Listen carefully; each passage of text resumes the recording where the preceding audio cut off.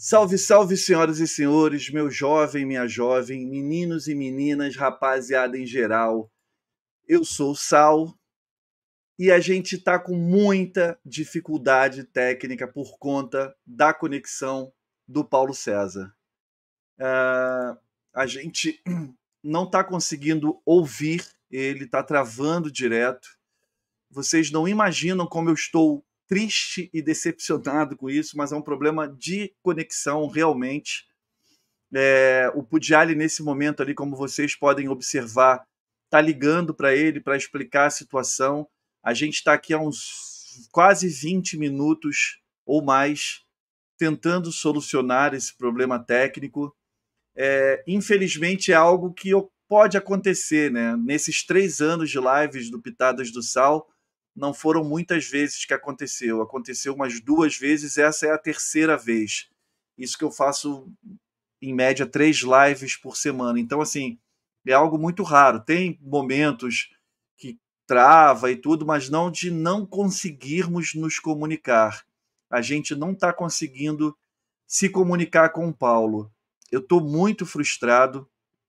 É, eu vou aguardar aqui, Helena, como você está falando, sim, o, o Pudiali está ali conversando com ele eu pedi essa gentileza ali para o Pudiali. Eu falei, Pudiali, dá uma ligada enquanto eu dou uma satisfação para a galera que entrou ali, que já está aguardando e tudo.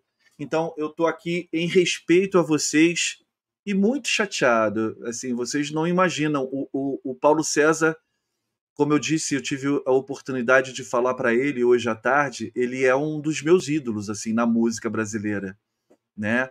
Ah, o trabalho que ele criou para vários artistas aos quais também sou fã, são maravilhosos. E eu até brinquei com ele, assim, ele, ele era o baixista número um durante muito tempo, requisitado por vários e vários artistas importantes da nossa música.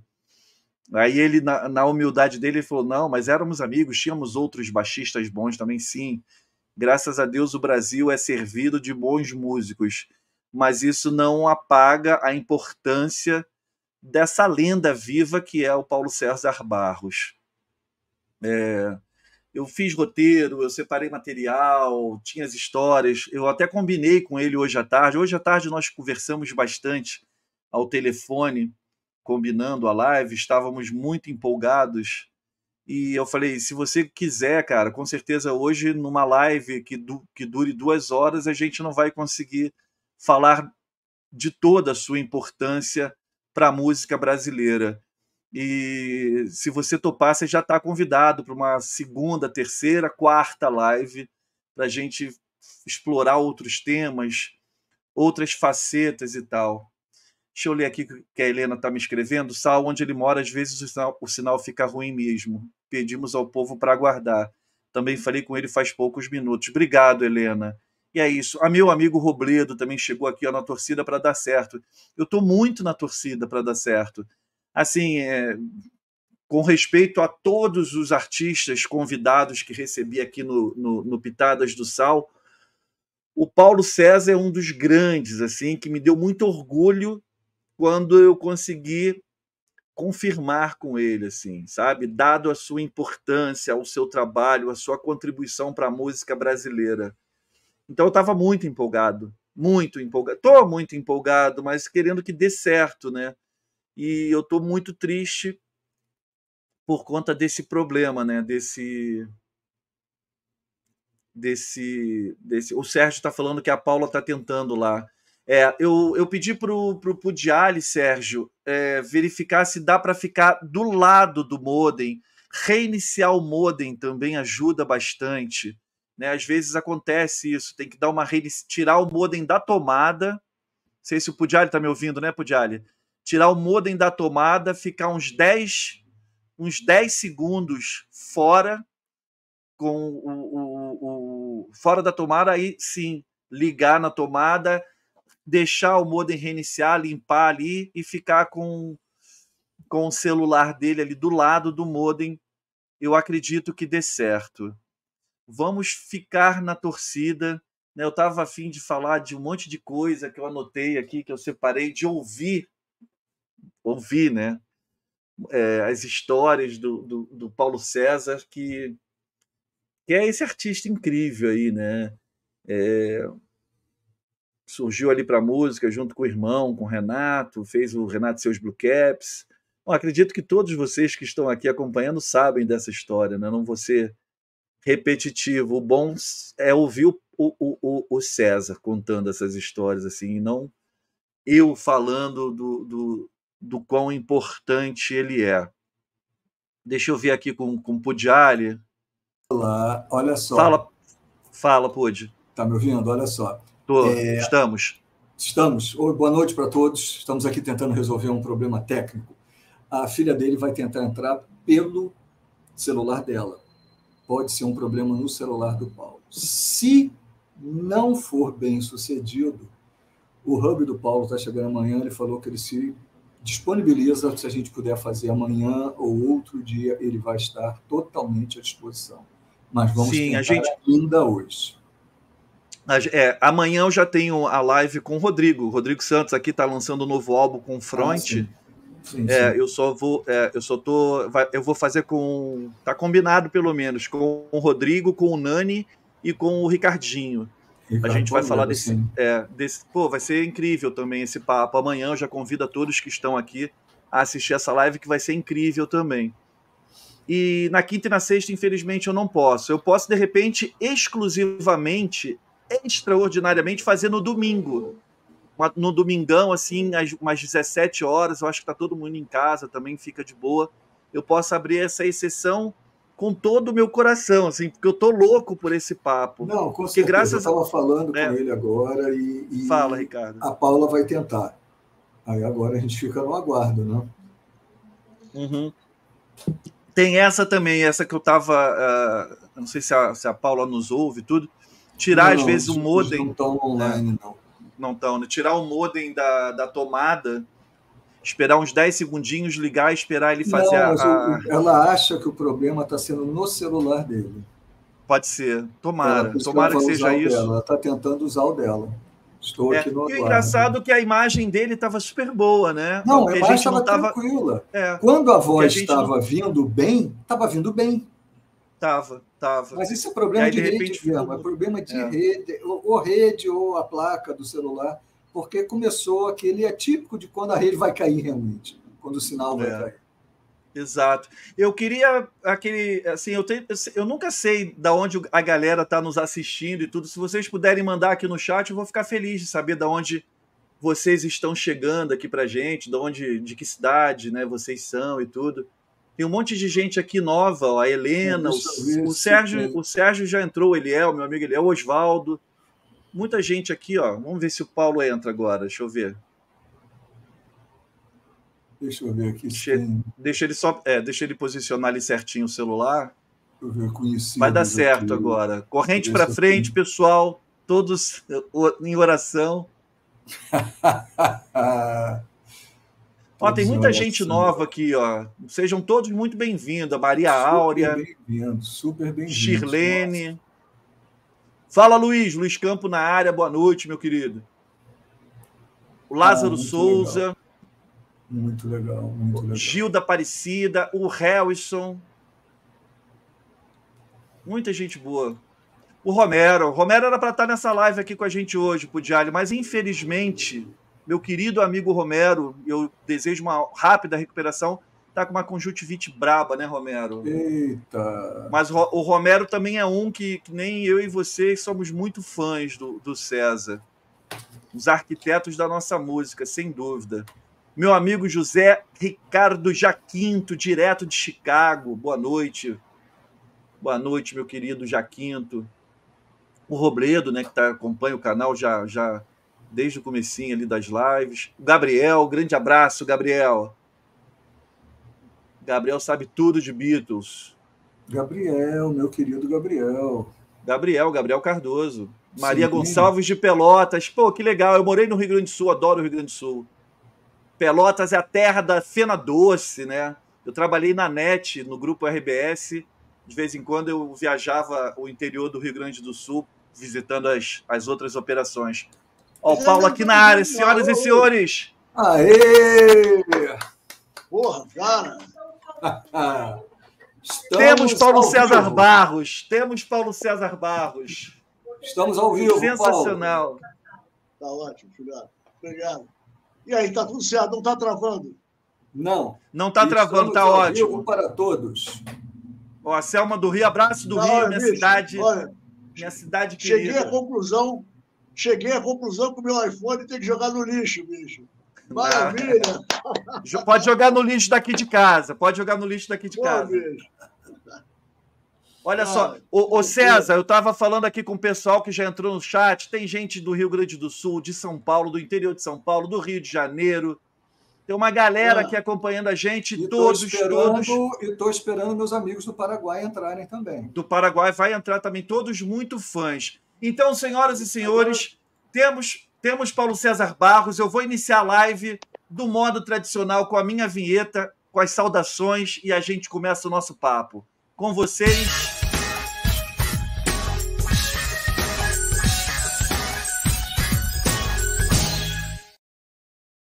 Salve, salve, senhoras e senhores, meu jovem, minha jovem, meninos e meninas, rapaziada em geral, eu sou o Sal e mais uma live aqui no canal Pitadas do Sal dessa vez para falar com essa lenda viva, sim, senhoras e senhores, por mais que ele seja amigo de vários grandes outros baixistas, mas o Paulo César Barros é realmente esse grande baixista, esse orgulho da música brasileira, esse artista incrível que eu tenho a honra, o prazer de recebê-lo aqui no canal, mas já me sinto amigo dele de infância, assim. Parece que a gente jogou pelada lá em Piedade, naqueles campinhos de terra batida. Seja muito bem-vindo. Prazer. Porra, valeu, Sal. Valeu, Ricardinho. Fala, Paulo. Tamo junto, Ricardinho. E aí? Ricardo, meu Bom, amigo Ricardo Pudiali não podia ficar de fora né, dessa festa aqui hoje, dessa festa de arromba, né? É. Paulinho, já que eu não posso ficar de fora, lembra dessa foto aqui, Paulo? Deixa eu ver, cara. Putz, Rádio Nacional, cara. Rádio Nacional. É. Programa César de Alencar. Você, Edinho, é, o Renato. Roberto Simonal, Erasmo. Carlinhos, já estava aí. Exatamente, é. E o Batera, o Batera, eu acho que nesse dia aí era o Cláudio Caribé. Acho. Não era o Tony ainda, não. Não, não era ainda não. Não era o Tony, não. A turma da pesada, hein, César? Uma turma da pesada, hein? É, cara, Tranquilo. Cara, é, foi o seguinte. Cara, deixa eu achar meu celular, tá aqui. Peraí, peraí. É só um minutinho, gente. Só um segundo. Fica, fica tranquilo que eu vou, eu, vou, eu vou apresentar seu currículo aqui para a galera que, que por acaso seja um desavisado e não saiba. Paulo César Barros, essa lenda, irmão de Renato Barros, né, junto com seu irmão, criou, fundou o, o, grupo Renato e seus Blue Caps ali nos anos 60, que ficou famoso no movimento Ye, Ye, Ye né, fez uma grande explosão, um movimento este que é muito conhecido como, como Jovem Guarda, né, Pudiali, mas eu costumo ser correto. O movimento era Ye, Jovem Guarda era o programa, mas o programa ficou tão gigante que passou também a batizar esse, esse, esse movimento do rock, da música jovem no, no, no Brasil ali nos anos 60. César esse baixista, compositor, né? E que estourou não só na Jovem Guarda, mas ele, eu ouso dizer que nos anos 70 e 80 ele era o baixista número um, assim. Quando os artistas queriam gravar algo bom, significativo para os seus trabalhos, para os seus álbuns, estava lá presente sempre, César Barros. Eu estou mentindo, Ricardo? Não, não está. Agora você só esqueceu de uma coisa. Eram três irmãos: Renato Barros, Ed Wilson e Paulo César Barros. Esses mas, foram. Mas pô, lembra, lembra que eu combinei com você hoje à tarde que eu ia esquecer para você justamente me chamar a atenção? A gente combinou certinho. É, tá certo.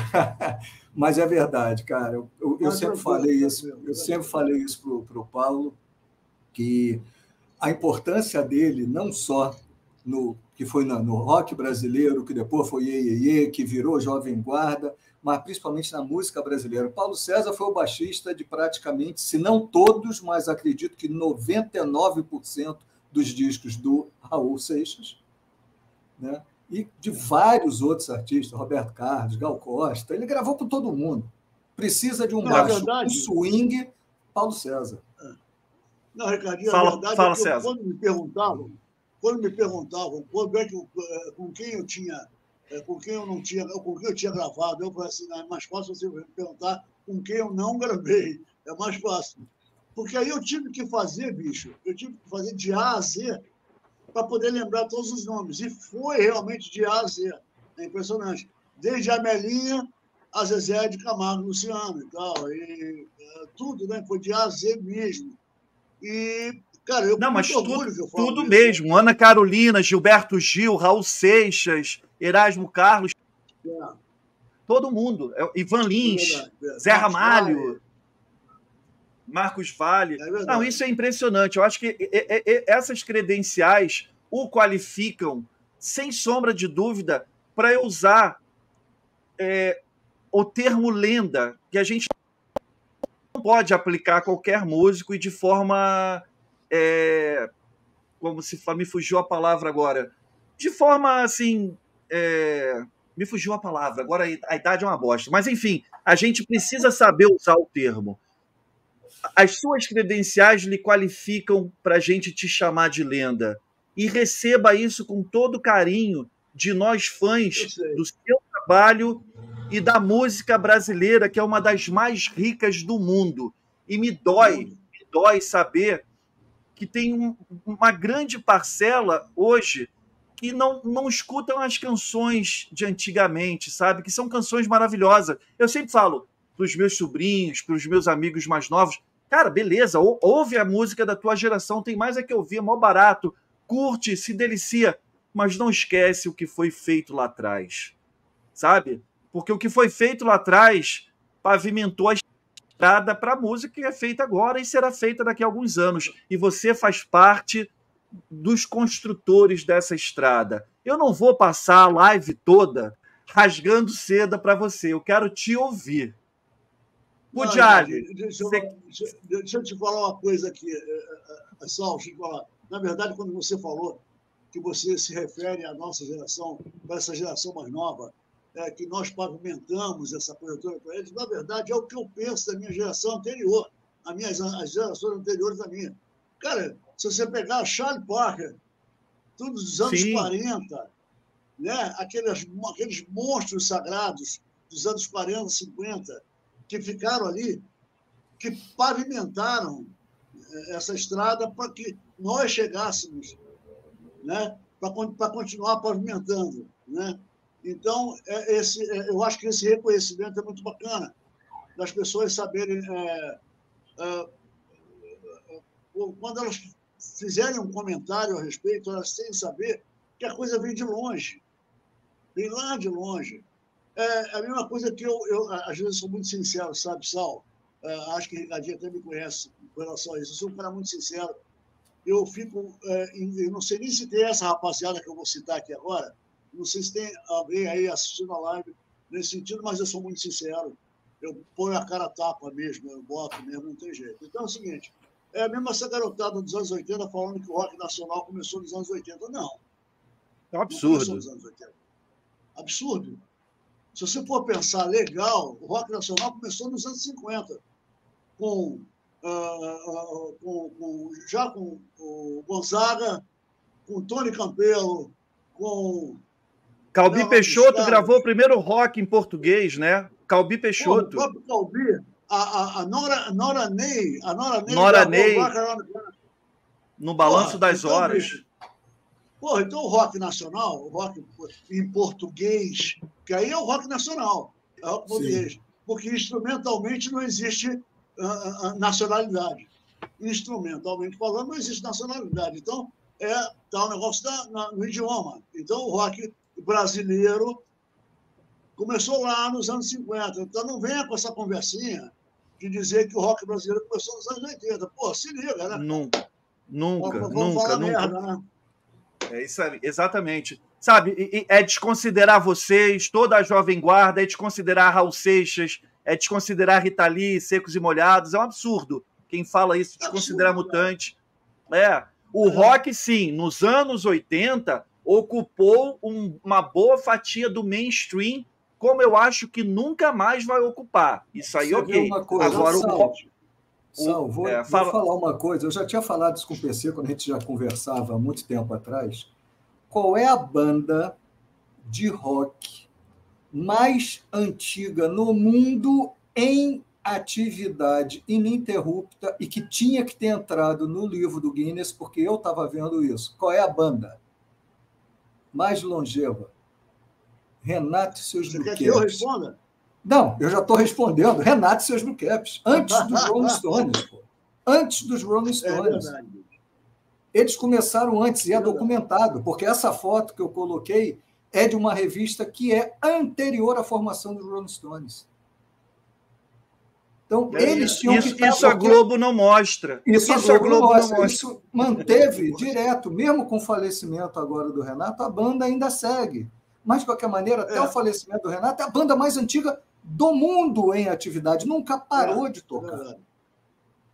É. Entendeu? Ô, é. ô, ô, César, eu vou aproveitar aqui a pergunta do meu querido amigo Romero Carvalho, que estava aqui no roteiro, até que eu passei para o Pudjali. Ele está falando assim: PC é referência máxima do contrabaixo. Todo mundo que veio depois dele no Brasil tem ele como referência, né? No caso, você. Mas quando você começou, o baixo elétrico era algo muito raro no Brasil. É. Quem era a sua referência, Paulo tá quem eram, quais eram né, as, as suas referências? É, pois é, a minha referência como, quer dizer, ah, sobre o instrumento, a minha referência, cara, era a seguinte, eu era muito criança, era muito garotinho, é, logicamente eu não sabia diferenciar muito os sons, as, não os sons, mas os instrumentos e tal, eu era muito garotinho. Mas, quando eu me liguei em música, que foi lá com 5 anos de idade, 6 anos de idade, onde, onde eu despertei para a música, porque a minha casa era música o dia inteiro. Meus tios, meus, avós, minha mãe era cantora da Rádio Nacional, chegou a ser cantora da Rádio Nacional. Então tinha seresta na minha casa todo dia. Isso com cinco anos de idade. Então, é, a, a, a, naquela época, o, o rádio brasileiro, o nível de música do rádio brasileiro era uma coisa altíssima. É, é você ouvia Herman Cine, música popular. Popular era Harry Mancini, bicho. Porra, era Lúcio Gatinga, aqueles boleros, puta minha cara, boleros maravilhosos. As harmonas já maravilhosas. Claro que eu não tinha entendimento dessas harmonias, era criança, mas a sonoridade daquelas harmonias entravam em mim como um bálsamo, né, cara? Então, é, é, eu fui é, ouvindo isso tudo desde criança. E aí o contrabaixo, claro que é evidente que era o contrabaixo acústico, não era o contrabaixo elétrico, o contrabaixo acústico. Era a minha referência de contrabaixo. Tanto que o meu primeiro, primeiro contrabaixo foi contrabaixo acústico. Eu comecei no baixo acústico. E aí, a minha referência era Ray Brown. Né? Ray Brown, quem mais? Sam Jones. É, cara, tantos outros do jazz, né? Eram uns caras. Mas aí, a coisa foi, foi, foi, foi, foi se encaminhando e tal. Aí quando chegou, isso é quando eu ouvia, isso, isso aí eu estou falando quando eu ouvia David Brubeck, criancinha, eu ouvia David Brubeck, ouvia samba, nossa, Roberto Ribeiro, Roberto Ribeiro, ah, Roberto, acho que é Roberto Ribeiro o nome dele, sim, do Normélia, né? aquele samba, é, é, eu ando quase louco de saudade. É grande a minha Eu tinha cinco anos de idade que eu ouvi esse samba, eu chapei, gostei daquilo. Bom, então as minhas influências eram uh, uh, o blues, o, o jazz, a salsa cubana, a música cubana entrando na minha casa lá, Bem-vindo Grande e, e, e, e a Matanceira, aquela bola dele lá, tá, isso era uma influência. Mas aí foi, chegou em 56, se eu não me engano, chegou em 56, teve a invasão do rock and roll no Brasil. Acho que foi 56, se eu não me engano, tá? Ou 55, não sei. Aí Elvis, uh, Little Richard, Sedaka, uh, uh, Polanca, o, uh, falei do Elvis, né? Elvis, Uh, esses caras, Luiz Prima, sensacional. Teve, quando teve essa, essa invasão do rock and roll no Brasil, tinha um programa no, na rádio metropolitana do Rio de Janeiro, que era A Hora da Broadway. E aquele rock and roll entrou no Brasil que deu uma, uma febre, ia pegando no Brasil. Eu, sinceramente, eu ouvia aqueles rock and roll todos, maravilhoso, achava bacana. Mas quem pirou mais com rock and roll, com tudo isso, foram os meus irmãos, que eram um pouco mais velhos que eu. O Edinho, o Edinho Wilson e o Renato. Eu estava na carona. Não que eu não gostasse de rock and roll. Claro que eu gostei.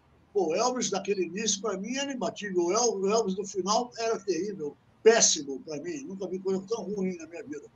Mas aquele Elvis do início, da, da roça, aquele cara era sensacional. Da mesma forma como os Beatles. Beatles de 61, 62, 63.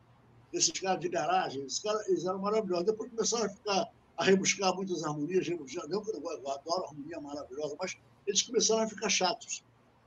Eles começaram a ficar chatos. É diferente da época do Love Me Do, do uh, I Should Have the Better, e por aí vai. Né? Essa época era maravilhosa. Mas então, quem eu estava falando da influência do contrabaixo. Essa época veio um cara chamado Chubby Checker, que era o cantor eh, de Twist, né? Let's Twist Again. Né? Let's Twist Again. Né? Bom, o baixista do, do não tinha uh, uh, label, não tinha crédito naquela época, não existia crédito. Eu, eu, como, como, como, como o Chip Jack era um cara uh, afro, né? Afro, eu imaginava que aquela turminha que gravava com ele fosse todos, todos negros, maravilhosos, tocando e tal. E aquele baixista, que eu sabia que era, né? não tinha noção, aquele cara, ele, eu me influenciei muito pela levada dele, pela a maneira de conduzir a banda, né? a maneira de conduzir a banda. Porque o baixo é isso, né? O baixo conduz a banda, ele vai conduzindo a banda, ele vai dando o chão para a banda, né? o baixo é isso. E aquele cara me influenciou muito naquela maneira de tocar. Eu nunca soube o nome daquele cara. Hoje em dia eu me saber que, que o cara não era negro, que o cara não era americano, que o cara era europeu, tocava nos Estados Unidos e era brancão. E, e o nome dele era não sei o que, Macho. Não sei o que, Macho, o nome do cara. Quer dizer, você vê como é que são as coisas, né? Já dava um crédito ao cara, porra, negão, um cara tocando aquele. O cara era brancão europeu, cara, imagina. Então, nessa, é, época, nessa época não tinha o Google para você pesquisar, né, César? Porra, né? Pois é, bicho, não tinha o Google ainda, né? Cara, esse, essa foram as minhas, as minhas influências naquela época, né? É, agora, a ah, primeira vez. Sensacional. É muito bacana de contar. A primeira vez que eu vi um baixo elétrico na minha vida, o baixo elétrico já existia desde 1951, mas eu não sabia. Eu nunca tinha visto nada disso. Baixo, para mim, era, era o baixo acústico. A referência que eu tinha o. Mas eu fui ver um filme, 1957, 58, sei lá, filme de rock and roll, no cinema e tal. Aí apareceu Bill Haley, com aquele baixo acústico, né? O Rock and Clark e tal, papá. É, não sei mais quem. E apareceu o Little Richard, que eu era macaco de auditório do Little Richard. Por causa daquele bandaço dele, aquele, os, os metais todos e tal, pau quebrando. É, o Batera era muito louco, muito bom o Batera. Bom, em síntese, eu, eu adorava o Little Richard já com espelhismo na voz, coisa que os brancos não tinham. Os brancos eram muito lisos cantando, né? Era muito retinho cantando. E os negros já viram aquele negócio da, uh, dos escravos, aquela coisa toda, e que criava aquele espelhismo na voz, que era uma coisa maravilhosa, que o Jorge Veiga tinha aqui no Brasil. Jorge Veiga foi um cara de melisma, o primeiro negro aqui no Brasil a ter melisma e estava mostrando. Bom, eu era muito ligado nisso, né? nessa negritude, eu era sempre muito, muito ligado nisso. E aí, o que, que acontece? É, eu estava te falando, perdão, estava falando sobre é, exatamente é, pra, o... Quando você viu o baixo ah, elétrico pela primeira vez. Ah, quando eu vi o baixo, exatamente. Aí, quando entrou a banda do Little Richard, Long Tall Sally, True Fruit é, e tantas outras, quando eu olho a banda toda, eu vejo os sopros, vejo batera tá, e vejo duas guitarras, bicho. Eu falei, porra, mas eu estou ouvindo baixo, cara mas são duas guitarras. Quando eu olho direitinho, uma das guitarras tinha quatro cordas, tinha quatro cordas grossas. Eu falei, porra, esse troço é baixo, bicho. Foi a primeira vez que eu vi um baixo elétrico na minha vida. É, que eu saquei, como é que pode, cara? Não é só o acústico, não. Baixo, baixo elétrico também. Tal. Foi a primeira vez que eu vi um baixo elétrico. E, mas já, na verdade, já existia. Eu é que não sabia. Já existia desde sim, 51. Sim. Ou melhor, até antes, porque esse, esse Gibson era antes do Fender ainda. O Fender foi em 1951 primeiro. Mas o Gibson, esse que, que o Little Richard usava na banda baixinha dele, era antes de 50, de, de 51. Então, mas eu não sabia, nunca tinha visto isso. Mas, cara, foi minha claro. referência de, é, de contrabaixo, de Demais. instrumento e tal. E aí, bicho, aí a vida foi seguindo. É, um dos meus ídolos dessa época, né, que até hoje está vivo, graças a Deus, está tá com 90 e poucos anos, graças a Deus está vivo, está bem, era o Nil Sedaka. E o Sedaka, eu era um cara, um fã, de, eu era um fã do Sedaka, porque as, as melodias dele, você gozado, você vê como é que são as coisas, a minha musicalidade, Sal. Mesmo sem ter estudado ainda naquela época, a minha musicalidade já me indicava um norte. Sabe? Quando eu ouvia o Sedaka, eu via que tinha alguma coisa a mais do que ele só cantando. Ele tinha alguma coisa a mais, ele mostrava alguma coisa a mais do que só apenas o canto. Ele, a forma dele tocar piano, depois eu vim saber que ele era um pianista clássico, um baita de um pianista clássico, é, tocando Chopin, tocando tantos outros e tal. Mas tinha aquele sucesso dele. E aqueles arranjos, as maneiras de, de, de fazer os baixos do, do, do, piano eram tudo dele, essas coisas eram todas dele. Que, inclusive, anos após, já nos anos 70, final dos anos 70, Mike McDonald entrou no, no, no, no na banda. É, porra. É, hã? Não, isso é o cachorro do sal que está latindo. Aí, bom, o Mike McDonald colou, é, colou naquilo que o Sedaka já fazia nos baixos do piano. Mike McDonald, quer dizer, anos depois, os caras já bebendo naquela fonte lá atrás. Coisa que eu bebi também, né, naquela fonte. Então, aí, bom, chegou um dia, não sei dizer o ano, 62, talvez 62, é, eu já tinha ganho da minha mãe o meu instrumento, meu baixo acústico, e o José Messias tinha um programa na Rádio Guanabara. Tinha um programa aqui no Rio, na Rádio Guanabara. E era um estúdiozinho, né? Aqueles estúdios de rádio, apertadinhos e tal. Não é que o José Messias conseguiu levar o Sedaca lá, cara. E, nesse, e como eu vivia na rádio o dia inteiro, eu saía de casa, garotinho, eu, meus irmãos, a gente ia para as rádios. O ambiente da gente eram era as rádios, né, os amigos nossos. E o meu baixo já ficava lá na rádio. Já deixava lá aquele trambolhão enorme, ficava lá na rádio. Aí, nesse dia que eu estava lá, que o Sedaca estava lá, eu, porra, o Sedaca tinha uma pianola lá, que ele foi tocar uma. cantar o sucesso dele com uma pianolazinha. Porra, eu estava ali, eu falei, cara, se você quiser, eu posso te acompanhar com o meu baixo. Aí ele topou. Eu peguei meu baixo numa outra sala que estava lá guardado, vim para dentro do estúdio com ele e comecei a acompanhar ele. Todos os músicas que ele cantou, porque eu conhecia todo o repertório dele, porque eu era fã ardoroso do cara.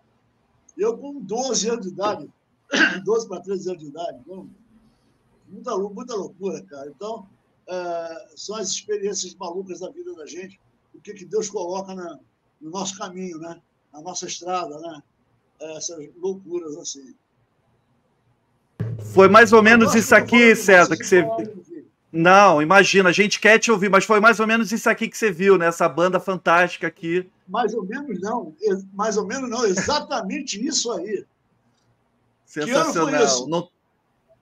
Ah, isso aí deve ser 58, né? Mais ou menos. 58, exatamente o que eu achei que fosse, 57, 58. É, tá vendo lá? As é, duas 57, guitarras, para mim eram duas 50... guitarras, quando eu for olhar bem, Sensacional, Maravilha, sensacional. Deixar quatro baixo. Paulo, queria que você contasse aí para a galera como é que você foi parar no contrabaixo, porque você me falou como é que foi. Como é que foi a escolha democrática na banda? Quem vai ficar com o quê? Ah, democrática. Baita democracia, maravilhosa. Carnado de democracia. É o seguinte, Renato já tocava violão. Eu, nós, nós três tocávamos violão. Mas quando nós fomos fazer a banda, Renato Silvio é, tinha que ter um, um, um violonista. Né, que, que era, não era guitarra ainda, porque a gente não tinha guitarra, mas então tinha que ter um violonista. O Edinho também tocava violão. Mas toda a banda rock tinha que ter um baixo. Aí o baixo foi que sobrou para mim, cara. Eu, eu, eu fui escolhido para tocar o baixo. Cara, o que, que acontece com esse negócio? Eu não tinha baixo ainda, né? Esse baixo acústico e tal, não tinha. Aí, quando eu fui fazer o concurso da Rádio Manique Veiga, hoje é de Rock, estava é, lá o, o, o, como é que se diz? É, aquele, aquele tipo de formação de. Não é o nome, rapaz? Uma, uma banda que tinha, que era. Ah, esqueci o nome agora. Bom, mas em síntese, tinham lá uns senhores já com seu o conjunto lá. Então tinha o baixo acústico. Mas eu só tocava baixo, cara, no violão. No violão. Então eu pegava, a gente só tocava em Dó maior e Fá maior. Os garotos só sabiam tocar em Fá maior. Então, eu pegava o violão, afinava a corda grave dele é, no Sol, o Lá eu afinava em Dó e o Ré eu afinava em Fá. Então, fazia aquele Fazia isso no, no violão. Né? Então, é, é, assim que a gente tocava, afinava todo errado, né? Afinava, ficava, a gente só sabia tocar em dó e fá, e sol. Bom, no dia do programa, do concurso, nós fomos lá e eu pedi o baixo do velhinho lá emprestado, cara. Porra, aí o velhinho falou assim, ô garoto, vê lá, hein, você toca isso aqui? Eu falei, não, eu toco. Mentira, né? a primeira vez que eu ia pegar no baixo acústico. Eu falei, toca, toca sim, senhor. Tá. Agora, não vai quebrar meu baixo, não, é garoto? Eu falei, não, nem deixa comigo. Tá. Aí peguei o contrabaixo do velhinho, cara, no, no, e levei para um canto lá, para ele não vendo, e desafinei o baixo. Botei, afinei. eu afinei a corda grossa em sol, o lá em dó e o ré em, fá. Para ficar igual o violão, quando eu tocava o baixo violão. Mas e aí, cara? Tocamos, tudo bem, tocamos e ganhamos o concurso. Mas acontece que para voltar à afinação normal, eu não sabia que a afinação era aquela que eu tinha mexido. Aí eu fui entregar o baixo pro velhinho, né? Quando eu fui entregar o baixo pro velhinho, cara, ele chegou, e aí, meu filho, não, tá tudo bem? Não, uh, uh, você não quebrou o meu, o meu instrumento? Não, eu falei, não, senhor, não, não, não, o baixo tá aí perfeito, tá bom. Aí saí andando. Quando eu saí andando, o cara pegou no bagulho e falou: Ô garoto, você desafinou meu baixo todo, eu saí voando, bicho. eu não sabia voltar para a direção comum. Muito bom. Mas, mas, foi assim. A Demais. Vez, é, foi a primeira vez que eu peguei no baixo é, publicamente, né? Assim, a primeira vez foi, foi assim, nós ganhamos o concurso. E foi muito bacana, cara. Muito legal. Muito bom.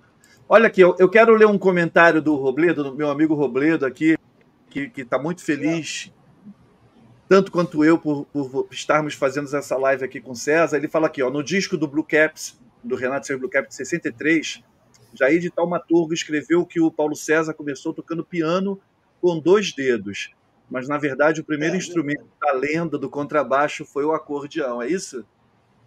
Foi, foi o acordeão. Meu primeiro é. instrumento foi o acordeão. É. Eu, com cinco anos de idade, meu pai me deu um acordeãozinho de, de oito baixos. De oito baixos. Foi o primeiro instrumento que eu tive. É, aí teve um lance muito gozado, gente. Eu acho que eu já contei isso em algum lugar, vou contar aqui, já que você falou do acordeão. Cara, Por favor. Eu, com cinco anos de idade, eu o acordeão. Hã? Não entendi. Bom, conte, conte essa história pra gente aqui. Vou contar muito gozada, bicho. Eu peguei o acordeão e comecei a tocar, já, tirar os acordes, comecei a tocar e tal, tocando os baixos, a mão esquerda, tocando, tudo certinho. E aí, com cinco anos de idade, aí eu fui para o meu portão, né? sentei na calçada da, da, minha casa, no meu portão, assim por volta de quatro horas da tarde, sei lá, para fazer um som com o meu acordeão sozinho, cinco anos de idade, brincando ali. Cara, as pessoas passavam e começaram a jogar moeda para mim. Porra, bicho como se, eu, como se eu estivesse pedindo né, esmola e tal. Ali. Uns trocados. Cara, eu só não estava entendendo. Eu só não estava entendendo nada, porque estavam jogando moeda ali, o estava tocando. Daqui a pouco, meu velho Barros, o papai chegou do serviço, então, era policial, ele chegou do, do serviço, quando ele chegou, viu na calçada aquele eu tocando uma coisa, aquele bom dinheiro em volta, e o que, que é isso aqui, porra? Tá maluco? Esse bicho. Tomei um esporro dele. Eu falei, Falei, pô, pai, sei lá, tô tocando aqui, os caras estão botando dinheiro aí, pô, tá, sei lá. Tá, sensacional, sensacional. Olha só, para a gente entrar no, no, num outro tema, É, eu quero ler mais esse comentário aqui do meu querido Romero. É, você contando, né, como você começou a, a, tomar contato com o instrumento e tudo, e aí o Romero está falando assim: isso é brilhante, pois o Paulo César aprendeu toda a linguagem do contrabaixo sozinho, decifrou e ainda criou um estilo próprio, né? E eu acho, eu acho, eu concordo com o Romero, eu acho que esse estilo próprio, né, a qual o Romero se refere, é o que dá esse molho, esse swing no seu tocar, na sua forma de executar uh, um instrumento e que apaixona todos os outros artistas, por isso eles te convidam para você participar do, dos discos, né?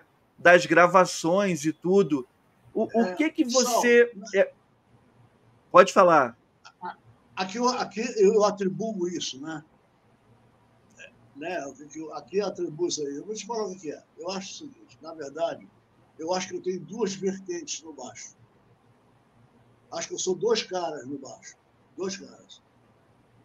Um é o cara que teve. Eu sou guitarrista também, né? Então, é, o baixista pro lado do, do, do pop rock, hum. o pop canção, vamos dizer assim, é o, o, que, o que vem mais é o baixista guitarrista.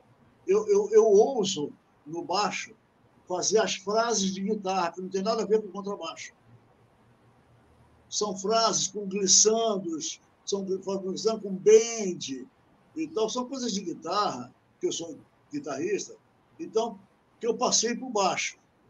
Esse é um cara, e esse cara você pode enxergar ele muito bem no Raul, no Belchior, no Renato Luqueps, no Roberto Carlos, nesse pop rock, canção pop rock, você vê bem esse baixista guitarrista, uhum. vamos dizer assim, né? que tem frases melodiosas, sabe? Frases melodiosas, blá, blá, blá. Tanto que nos Estados Unidos, eu gravava em 1980, nos Estados Unidos, uh, eu não, Deus, eu não jamais faria isso, mas o Roberto tirou um cara do, do, da cadeira dele para eu sentar lá. Porque nós chegamos atrasados, atrasados quatro minutos, e eu falei para o Roberto, tá vendo, cara, a culpa é tua, brincando com ele, a culpa é tua, chegamos atrasados quatro minutos, já tinha um cara sentado no meu lugar lá, um baixista. E eu falei para o Roberto, Roberto, deixa o cara lá, cara, deixa ele gravar. Mas o que eu quero dizer, da, eu não vou me estender nessa conversa minha. Eu quis dizer o seguinte, esse cara sacou desse meu lado doce, das frases guitarrísticas, de, melódicas doces e tal, ele sacou isso, porque teve uma hora que eu saí para pegar uma, uma Coca-Cola na maquininha lá e tal, no corredor, no estúdio, e esse cara estava no orelhão falando de mim com não sei quem, esse baixista. E ele falando que eu era um cara muito doce tocando, uh, falando com alguém lá, que eu não sei quem era, amigo dele, no orelhão e tal. E tinha um orelhão dentro do, do corredor do, do estúdio lá da, em Nova York, lá em 52. E ele falando isso, ele sacou esse da, da frase de guitarra mais doce, mais melodioso, ele sacou isso em mim. E é verdade. É, agora, tem o meu outro lado, aí eu já diria que é o seguinte, que é o lado é, é, da maldição da caveira. Aí já é o lado maldoso do contrabaixo, que é o lado negro, cara é o lado negro, é o lado maldoso, no bom sentido, do contrabaixo. Porque aí, cara, são coisas. É um outro cara, é esse outro, é o outro Paulo César. É o cara que é o cara que usa os ghost notes, notas mudas, né? notas fantasmas que não existem, mas você jura que está ouvindo aquela nota, mas não, não eu, na verdade eu não estou tocando aquela nota que você jura que está ouvindo, que a gente chama de notas fantásticas. Isso, cara, já é do gueto não está em universidade nenhuma, não está em escola nenhuma isso. Isso não está, não se ensina isso.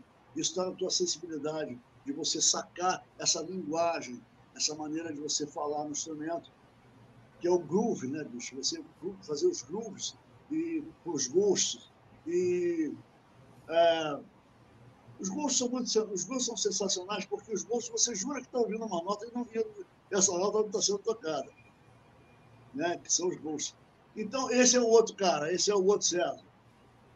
É o cara do, da negritude, é o cara que uh, já começa. Eu falo, a gente fala assim, é o lado da maldição da caveira, né? Pode crer. PC, você levantou uma bola que tem a ver com três assuntos que eu queria só jogar aqui. Um, você falou que você é guitarrista, né? Eu sei disso, e eu sei que tem várias músicas que quem tocou guitarra foi você. Você já me falou isso lá no Renato. Tem várias músicas que a gente acha que é o Renato, você me falou que era você tocando, eu achei muito legal. Outra que é que você não gosta de tocar com palheta. Você usa dedo, e acho que é só duas músicas que você gravou com palheta, que eu acho que você disse isso. Contrabaixo? Contrabaixo? É, contrabaixo. Você não gosta de usar a palheta ah, é, contrabaixo. Pelo amor de Deus, é. é. E outra Deixa coisa, eu... a última é que, depois que eu queria, se você tiver tempo, para falar para a galera como é, como é e por que, que você aprendeu a ler música. Maravilha. Deixa eu, antes do César responder, César, eu queria te pedir uma gentileza para você posicionar ah. o celular um pouquinho para você ficar mais no centro, que você está fugindo. Isso, Aí. maravilha. Aí, garoto, que a gente quer ver esse rostinho bonito e você está saindo do quadro muitas vezes. Agora, agora, agora é, as três, as três colocações ali do, do, do Ricardo, por favor. Ricardinho, eu não ouvi somos, somos, o que você falou. Então, vamos falar. A principal, né? Você não gosta de tocar com palheta no contrabaixo. É, contrabaixo com palheta. É, você não gosta, né? Isso? Não, pois é, não. Outra é. Por isso porque... que eu vim do acústico, né? Isso. Por que, que você começou e como você começou a ler música? Quando eu comecei o quê? Ler, ler partitura. Ah, essa história é muito bacana, cara. Essa é. história é muito bacana. Tenho o maior orgulho disso, assim. É muito legal. Eu era aquele músico visceral, né? Nós todos, a garotada toda. É, mas nós sabíamos ler cifra. Cifra a gente sabia ler. Mas cabeça de nota mesmo, que é onde o bicho pega, ninguém sabia, ninguém tinha estudado nada, né? E aí aconteceu uma coisa muito gozada. Como os maestros, mesmo sem saber, sem saber ler cabeça de nota, só sabia ler cifra. Os, mesmo assim, os maestros gostavam de mim tocando. Achavam que eu tinha um feeling tocando e tal, desde garoto, eles achavam que. Então, um belo dia, ah, isso muito ali naquela nossa casa, na CBS ali, que era a casa da garotada, da, da rock and roll, Jovem blá, blá, aquelas coisas todas. E, mas os maestros gostavam de mim. Um belo dia, me chamaram para uma outra gravadora. Eu acho até que foi gravação do meu irmãozinho Simonal. Acho, não tenho certeza. Eu acho que foi uma gravação do Simonal. E o maestro, era um maestro que eu nunca tinha visto na minha vida. E os caras da orquestra, todos violinos, violas, cellos, tudo. Então, era, era, era outro time de caras, não conheciam aqueles senhores, toda aquela orquestra. Era um garoto, um estranho no ninho. Eu era um estranho no ninho. Garoto. Eu tinha 20 anos, 21 anos, sei lá. Cara, mas como garoto não liga para nada, tudo é festa. Cara, eu fui chamado para gravar lá, eu botei o berimbau nas costas, ainda fui eu para o estúdio para gravar, cara. Porra. Aí cheguei lá, tudo é festa, né, bicho? Quando eu cheguei lá no estúdio, cara, que eu sentei assim, a orquestra toda, tá aquele maestro que ensinou, assim, bem humilde, assim, o maestro carioca, uma pessoa maravilhosa, cara, que eu agradeço tudo a, essa estrada minha após esse dia, agradeço muito a ele. Né? E nem ele sabe, coitadinho, morreu sem saber que eu sou um cara eternamente grato pelo que ele fez comigo naquele dia. Cara, eu cheguei achando que era tudo festa, igual lá nas gravações nossas da CBS. Quando eu sentei na minha cadeira, bicho, a música que a gente ia gravar, tinha quatro compassos só, assim, de, de introdução, que tinham, que tinham notas cabeça de nota. E eu sabia o que era aquilo, cara. Porra, eram quatro compassos só. O resto entrava na cifra. Na cifra ia embora até o resto do final da música. Mas aqueles quatro compassos de notas, eu não sabia o que era aquilo. Cocheia, sem cocheia, sei lá o que é isso. Pontuada, não pontuada. Bom, em síntese, os velhinhos estavam afinando, eu aproveitei que os velhinhos estavam afinando o instrumento, aquele barulhado, afinando o violino, aquela eu, eu pensei, a hora é agora, eu tenho que me salvar é agora. Peguei a minha parte, fui até o maestro carioca, que é pai do maestro Ivan Paulo, do Ivan, meu brodaço, meu irmão, também faleceu, infelizmente. É, mas o maestro carioca, eu cheguei para ele naquele meio, disse, maestro, por favor, o senhor me desculpe, eu não sei ler nota, sei ler cifra, mas nota eu não sei ler. Então, esses quatro compassos aqui, dessas notas do contrabaixo aqui, eu não sei o que, é isso aqui. Dá para o senhor cantar para mim essas notas desses quatro compassos? Eu vou decorar aqui, eu vou botar uma antena de 200 metros para captar, para decorar essas notas, a melodiazinha do baixo de quatro compassos. Eu vou decorar. E, e quando entrar na cifra, eu vou embora. Tranquilo. Cara, ele foi tão bacana, bicho, porque ele podia ter falado, se ele fosse um cara casca grossa, ele poderia, naquele momento, ter chegado para o regimentador da, da gravadora e falar assim: olha aí, você chamou um, um amador aqui para minha gravação? Não pode, aqui tem que ser só profissional. Podia ter falado isso. Mas, cara, ele foi uma, de uma, uma generosidade, cara, tão grande com aquele garoto ali, que foi honesto em falar que não sabia, que ele, foi, ele cantou aquela melodia dos quatro compassos, ele cantou aquele baixo. E eu decorei, cara, aquela melodia do baixo. E fui para minha cadeira. Cara, eu não pensava mais nada. Se você chegasse e fizesse alguma coisa na minha frente, eu não ia ver nada. Eu estava pensando na, na melodia, para não esquecer a melodia do baixo. Aí, quando estava tudo certo, que ele foi contar para a orquestra entrar, ele contou e eu entrei tocando aquilo que, ele, que eu decorei, aquilo que ele cantou para mim. E estava certinho, cara, com arranjo. O baixo perfeitinho junto com a orquestra. Eu falei, putz. Aí quando entrou na cifra, fui embora. Na cifra eu sabia ler. Que demais. Mas, cara, aquele dia foi um divisor de água da minha vida. Foi um divisor de água. Sensacional. Aquele dia eu perguntei para mim, eu estava na Rio Branco, né? A, a Philips, a Philips ainda era na Rio Branco, na Vila Rio Branco. Ah, e aqueles dias eu fui para Rio Branco ali para pegar o meu carro, fiquei pensando assim, cara, o que, que você é, bicho? Você é músico ou você está de sacanagem, cara? Se você é músico, meu irmãozão, vai estudar, cara. Então aquele dia foi o dia D para mim, para minha vida, foi o dia D. Aí o que, que aconteceu? Eu sou autodidata. Eu, como era amigo de todos os maestros, todos eles gostavam demais de mim, eu comecei a comprar os livros de música, mas os primários, livros que tinha Maria, Maria Prioli, por exemplo, era um livrinho bem primário, mas que era o básico que eu precisava. Era o básico. Aí eu comecei a estudar em casa aquele negócio, sozinho.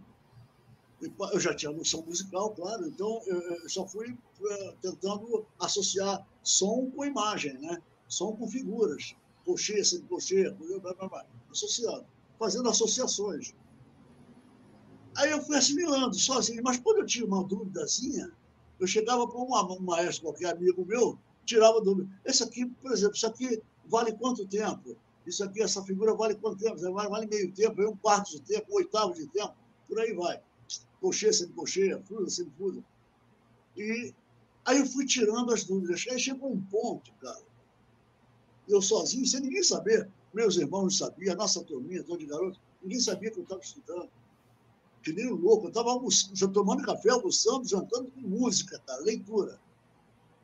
Aí chegou um ponto que eu comecei a escrever para mim mesmo. Cara. Eu comecei a dificultar para mim mesmo. Aí comecei a botar compassos compostos. Ah, peraí, tem uma coisa muito importante. É, leitura de música é realmente uma coisa difícil, porque você lê divisão e nota ao mesmo tempo. Então, você, além de você ler as divisões complicadas, você tem que saber que notas são aquelas que estão em cima daquelas divisões complicadas. Aí eu vi que aquilo era muito difícil para um cara sozinho.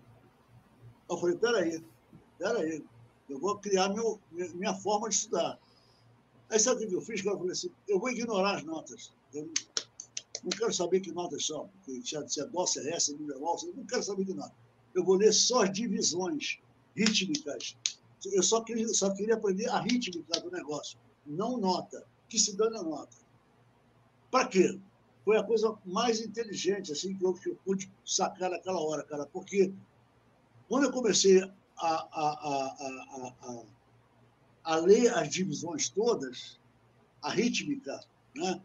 Para, pá, pá, pá, pá, pá, pá, pá, pá, pá, pá, qualquer coisa assim, as divisões, né? Sem nota. Como se fosse uma batera para, para, para, para, para, para, como se fosse uma guerra. Sem nota. chegou em três meses, eu estava lendo os compassos compostos, qualquer coisa que você botasse na minha frente, eu estava destrinchando aquilo com uma fluidez absurda de visão, de visão.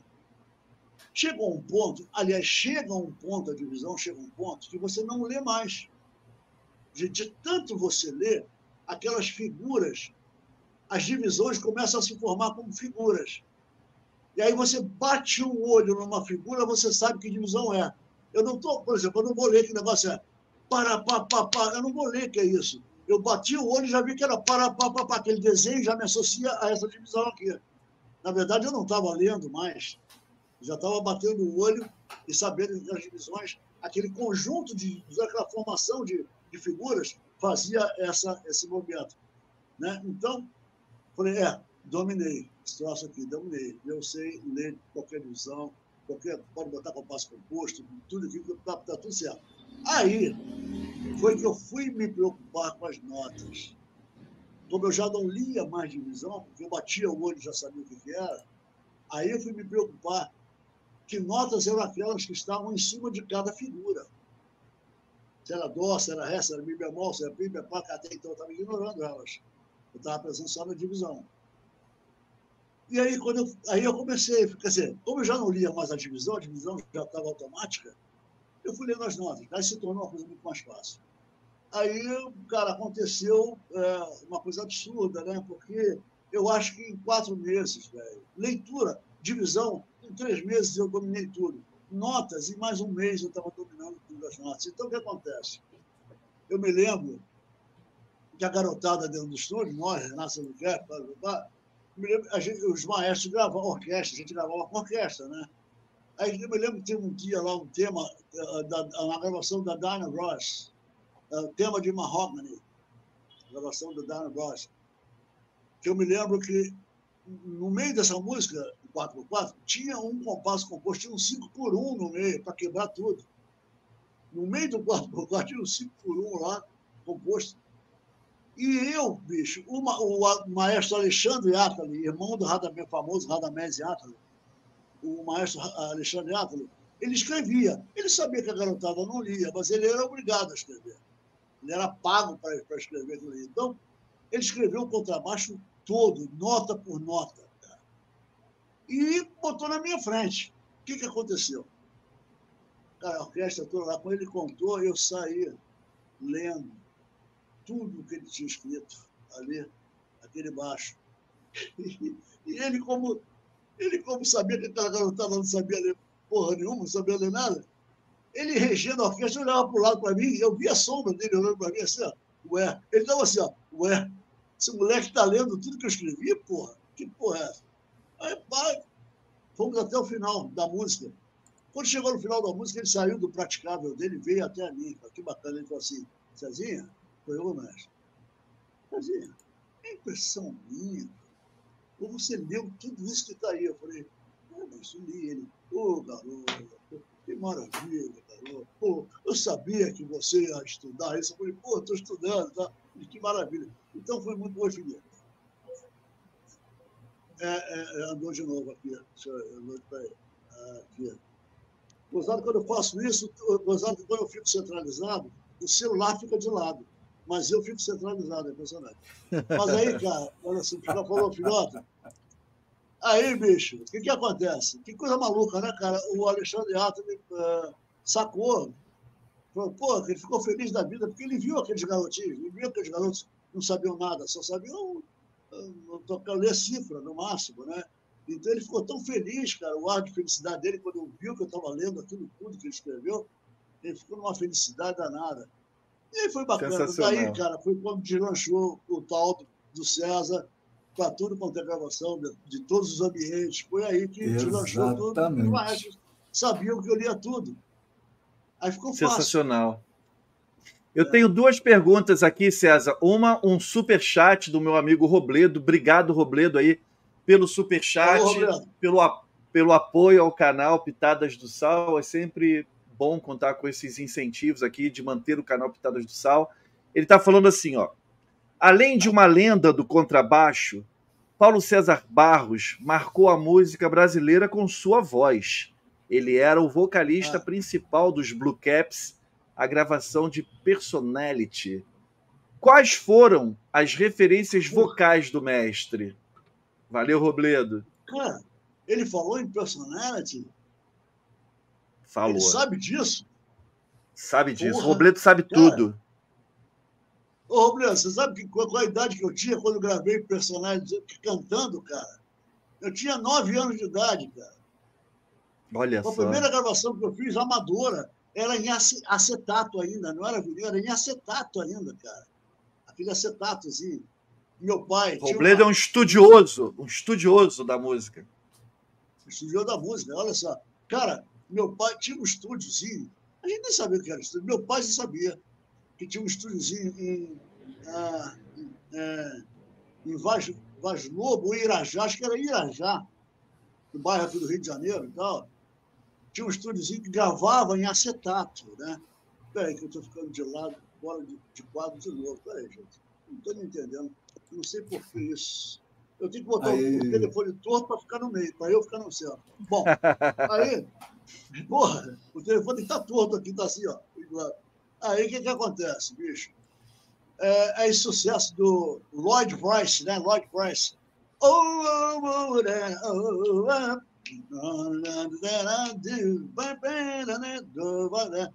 Personality, ah, personality. Bom, esse sucessaço do Lloyd Price, isso deve ter sido, sei lá, eu tinha nove anos de idade, bicho. Então, é, aí nós fomos gravar nesse estúdiozinho lá, e eu cantando. A voz, a voz de molequinho, né, bicho? Primeira gravação que eu fiz, cara, Personality. Cara, Sensacional. Que bacana isso. Agora, é, o Robledo eu acho sabe que o Robledo muito. não sabe de uma coisa, hein, bicho? Eu acho que o Robledo não sabe de uma coisa. Que tem uma gravação, chamada, uma música Kathleen, que nós, eu e Erasmo, quer dizer, Renato do Caps, é, eu e Erasmo cantamos Kathleen no disco de 63 da Copacabana, e que foi a primeira vez que eu e Erasmo cantamos juntos. Foi, foi, foi o Kathleen. E aí, acho que o Robledo não sabia disso, não, né? Essa gravação, cara, não saiu. Ela saiu do disco. Tiraram ela do disco. E eu só lembrava dessa música, só lembrava, porque eu nem gravação tinha disso. Só lembrava do Catherine. O gozado é que eu lembrava do Catherine inteira, cara. Até a letra.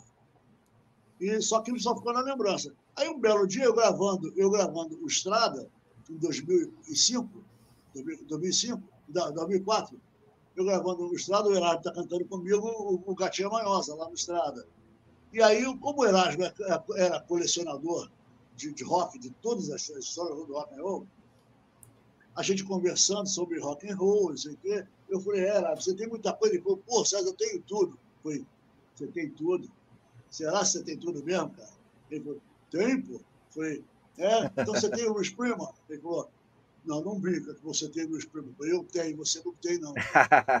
aí, aí, bicho, foi legal. Ele falou, por você me dá? Eu falei, te dou. Ah, vamos fazer uma troca, hein, bicho? Falei, o que, que você tem de importante? Ele falou, pô, eu tenho o Kathleen. Eu falei, o Kathleen? Você tem o Kathleen? Mas não saiu, cara. Ele falou, é, mas eu fui lá na Copacabana Disco para fazer uma cópia para mim. Falei, filha da puta, bicho. Falei, cara, copia, vamos trocar então. Eu te dou um Luz Prima, você me dá o Kathleen. Aí eu tenho aqui o comigo guardado, cara, que maravilha. Eu e o Erasmo cantando, primeira vez que a gente cantou juntos. Eu garotinho. Nossa, isso é demais. Eu tenho, eu tenho umas duas perguntas aqui, eh, uma do Romero e outra do super chat que eu acabei de receber. Aí depois eu vou fazer essas duas perguntas, depois eu passo a bola ali para o Ricardo. O Romero quer saber ah. qual a linha de baixo que você criou é a sua favorita. Porra, cara. Pergunta difícil, né? Favorita, bicho. Difícil, cara, porque. Mas uma das acho que você gosta, assim, de ter criado, de ter executado. Cara, eu me lembro que eu fiz uma coisa no. Uh, não há dinheiro no mundo que me pague, essa, essa música do Roberto. É, não, como é o título dela? Não há dinheiro que pague, é isso? É, não há dinheiro que pague. Essa música é do meu irmão Renato. Essa música é do meu irmão Renato até. Essa música aí, para a época, eu usei, na linha de baixo, eu usei, eu, eu fazer uma frase rápida e, e cromática uma escala cromática. Para a época foi uma coisa revolucionária, né? Por exemplo, assim, ó, pom pom, pom pom pom pom pom pom aí, isso para a época foi revolucionário. Tá? Essa foi uma das que me marcou. Né? Outra, que eu gravava no Brasil. Roberto, essa época o Roberto gravava nos Estados Unidos e eu botava e ele trazia o tape para cá, ele se levando, trazia o tape para eu botar o baixo aqui no Brasil. A gente está falando então, de todos estão isso, surdos, né? Todos estão surdos, é. Então, isso foi bacana que eu botei esse baixo aqui na CBS, né? Sozinho, Sensacional. Porque a orquestra já estava na fita. Eu sozinho botei o baixo, criei essa coisa aí. Outra, cara, outra coisa. É... Raul Seixas. Raul tem uma frase que se alguém cantar essa música e se o baixo não fizer essa frase, parece que a música fica capenga. Essa frase é, ficou tão carimbada na música que é como se fizesse parte da autoria da música. Eu, não, é, é, por exemplo, das telhas eu sou telhado. Olha a frase de guitarra aí. Olha aí, por exemplo, uma frase Pode de guitarra. Pode crer. Tá Pode crer.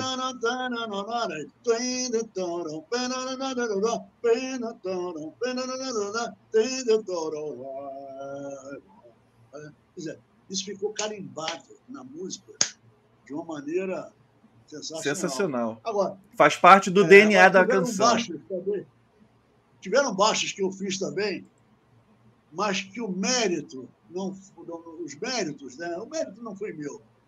Na verdade, eu só executei do baixo, só toquei. Mas, na verdade, a criação não foi minha, foi do Gil.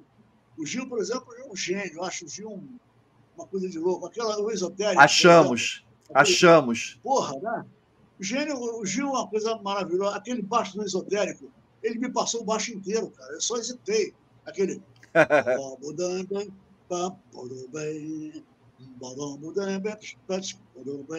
Isso foi o Gil que passou para mim. Esse baixo é do Gil. Que demais. Eu só toquei. Sensacional. Né? É, maravilhoso. Tem coisa assim. Bom, outra também que foi dificílima, que me marcou muito a vida. Aliás, foi uma prova de fogo que eu estava passando sem saber. Eu fui para essa gravação para ser testado, cara, e eu não sabia que eu estava sendo testado. É, é, eu vou contar a história para você. O disco do Cassiano, do Alô e Eu, do Coleção, do Baixo, lá, para o estouro, já tinham passado cinco baixistas ali. Eu não sabia de nada disso. Não sabia nada disso. Tinham passado cinco baixistas ali. E o Cassiano, como era um gênio da música, gênio, e exigente ao extremo, ficou certo, porque é exigente mesmo. Tinha um negócio tinha que sair do jeito que ele queria. E era muito bacana isso mesmo. Mas tinham passado cinco baixistas lá. Talvez um soubesse ler, mas a execução é, de pau mole, sabe? Aquele negócio. Ah, tá todo mundo adulto aqui, assim, vamos falar. O cara sabia Sensacional. de pau mole. É, porra, bicho, aí não tem nada a ver isso aí. O outro talvez tocasse com mais, mais, mais tesão, mas não sabia ler, errava a leitura toda. O outro, não sei, Pode nem crer. síntese. Tinham passado cinco caras lá, que é claro que eu não perguntei quem foram cinco caras, que são todos meus amigos, eu não queria saber né, quem, quem foram eles. Né? É, não era o caso. Mas aí o, Robson Jorge, não sei se lá, a lenda, né? Robson Jorge, Jorginho, era ele o Lincoln, né? Jorginho eu conhecia antes, antes, antes do Lincoln conhecer ele ainda. Conheci, conheci Jorginho com 14 anos de idade. Já era gênio, 14 anos. E o Jorginho estava na gravação do Cassiano, nessa gravação do disco do Cuban Soul de 77. Aí, 76, 76, né? 76, uh, da Poligrama. Aí, como os baixistas não acertavam, o Jorginho chegou, Robson Jorge, eu chamo, é Robson, mas eu chamo Jorginho, sempre O Jorginho chegou para o Cassiano e falou: pô, Cassiano, só tem um cara para salvar isso aí. E o Cassiano, a gente não se conhecia. A gente se conhecia, mas não pessoalmente. Ele sabia da minha história com o Renato Silva Guedes, eu sabia da história maravilhosa dele como sou, sou man, né? sabia da história dele maravilhosa, porque eu sou, a filha, já falei para você, que a negritude em mim é muito forte. Então eu já, já adorava o Cassiano, sem conhecer já adorava o Cassiano do disco de 71, que é o Imagem e Som, da Copacabana Discos, que ele gravou em São Paulo. Lindo, cara, disco um caço, um descasso lindo e tal, porque não gravei, não conhecia Cassiano ainda. Bom, aí Jorginho chegou pro Cassiano e falou, Cassiano, só um cara para salvar esse, esse, esse disco aquele. Quem, cara? Ele falou, o César. Aí o Cassiano, que César, cara? Porra. Paulo César, cara. Que Paulo César, porra, Jorginho. Ele, força, Paulo César Barros, cara. Ele falou, quem? Aquele cara lá do, do daquele rock and roll lá, daquele desbloqueado lá, aquele negócio lá. O Jorginho, é, cara, é aquele cara, né? daquele rock and roll lá, daquele bloqueados lá. É ele mesmo, cara. Pô, ele falou, pô, Jorginho, tu tá maluco? Tu vai botar o cara numa roubada aqui, cara? O cara toca rock and roll, cara. Pô, o cara vai chegar aqui, vai ser mais um que vai dar merda aqui com a gente.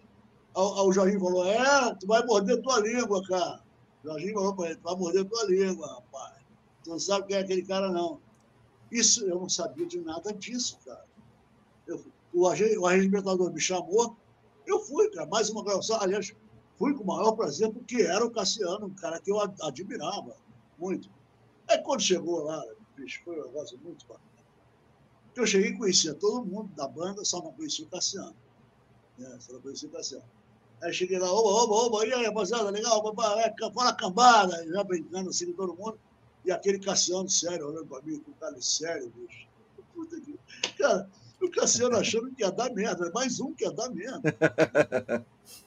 e ele olhando com a cara séria para mim assim, eu falei, e aí, meu irmão, prazer, prazer. Ele, pô, prazer, meu irmão, prazer. Eu falei, prazer, cara. Aí, é legal. Aí, eu fui para minha cadeira, todo mundo tal, peguei meu baixa-filho e meu baixo. E o Dom Charles, falecido Dom Charles, que era o que, cara que caneteava os baixos que o Cassiano inventava de boca. Cassiano inventava os baixos de boca e Dom Charles escrevia os baixos. Cara, e a música, que a principal música desse disco que derrubou todo mundo, com o tal do De Bar em Bar. Você pode ouvir esse disco aí? O De Bar em Bar, que é realmente, cara, é um baixo Maravilhosa. Maravilhosa. Você conhece, né? Agora, claro. imagina aquele baixo movimentado do jeito que ele é, lendo. Imagina a escrita daquilo. Cara, aí quando eu sentei, o Dom Charles, a, a, a, amando do Cassiano, já trouxe logo de bar. Ele não trouxe o Alu, e, aliás, o Alu e eu já tinha sido gravado, eh, gravado em São Paulo. Não foi eu que toquei o, o Alu e eu. eu já, já, já entrou no disco, mas foi gravado em São Paulo. Mas o Coleção, é, Guarda essa Flor, e aí por aí vai, tudo aquilo lá.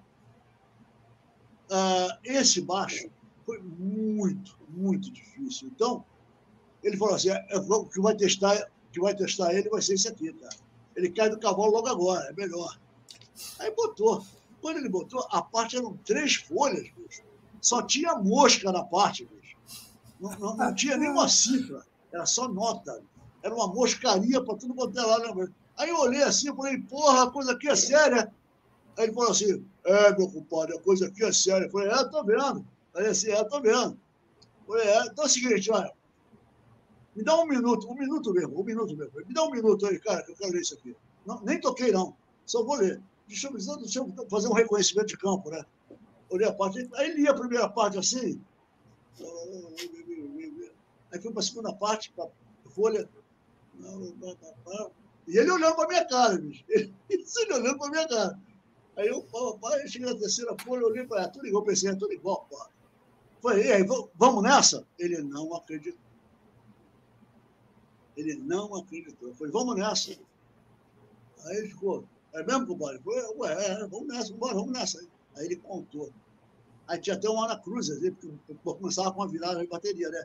Um, dois, paca de cantor, bem, bem, bom, pacadão, pacadão, bem, bem, bem, aquilo ali.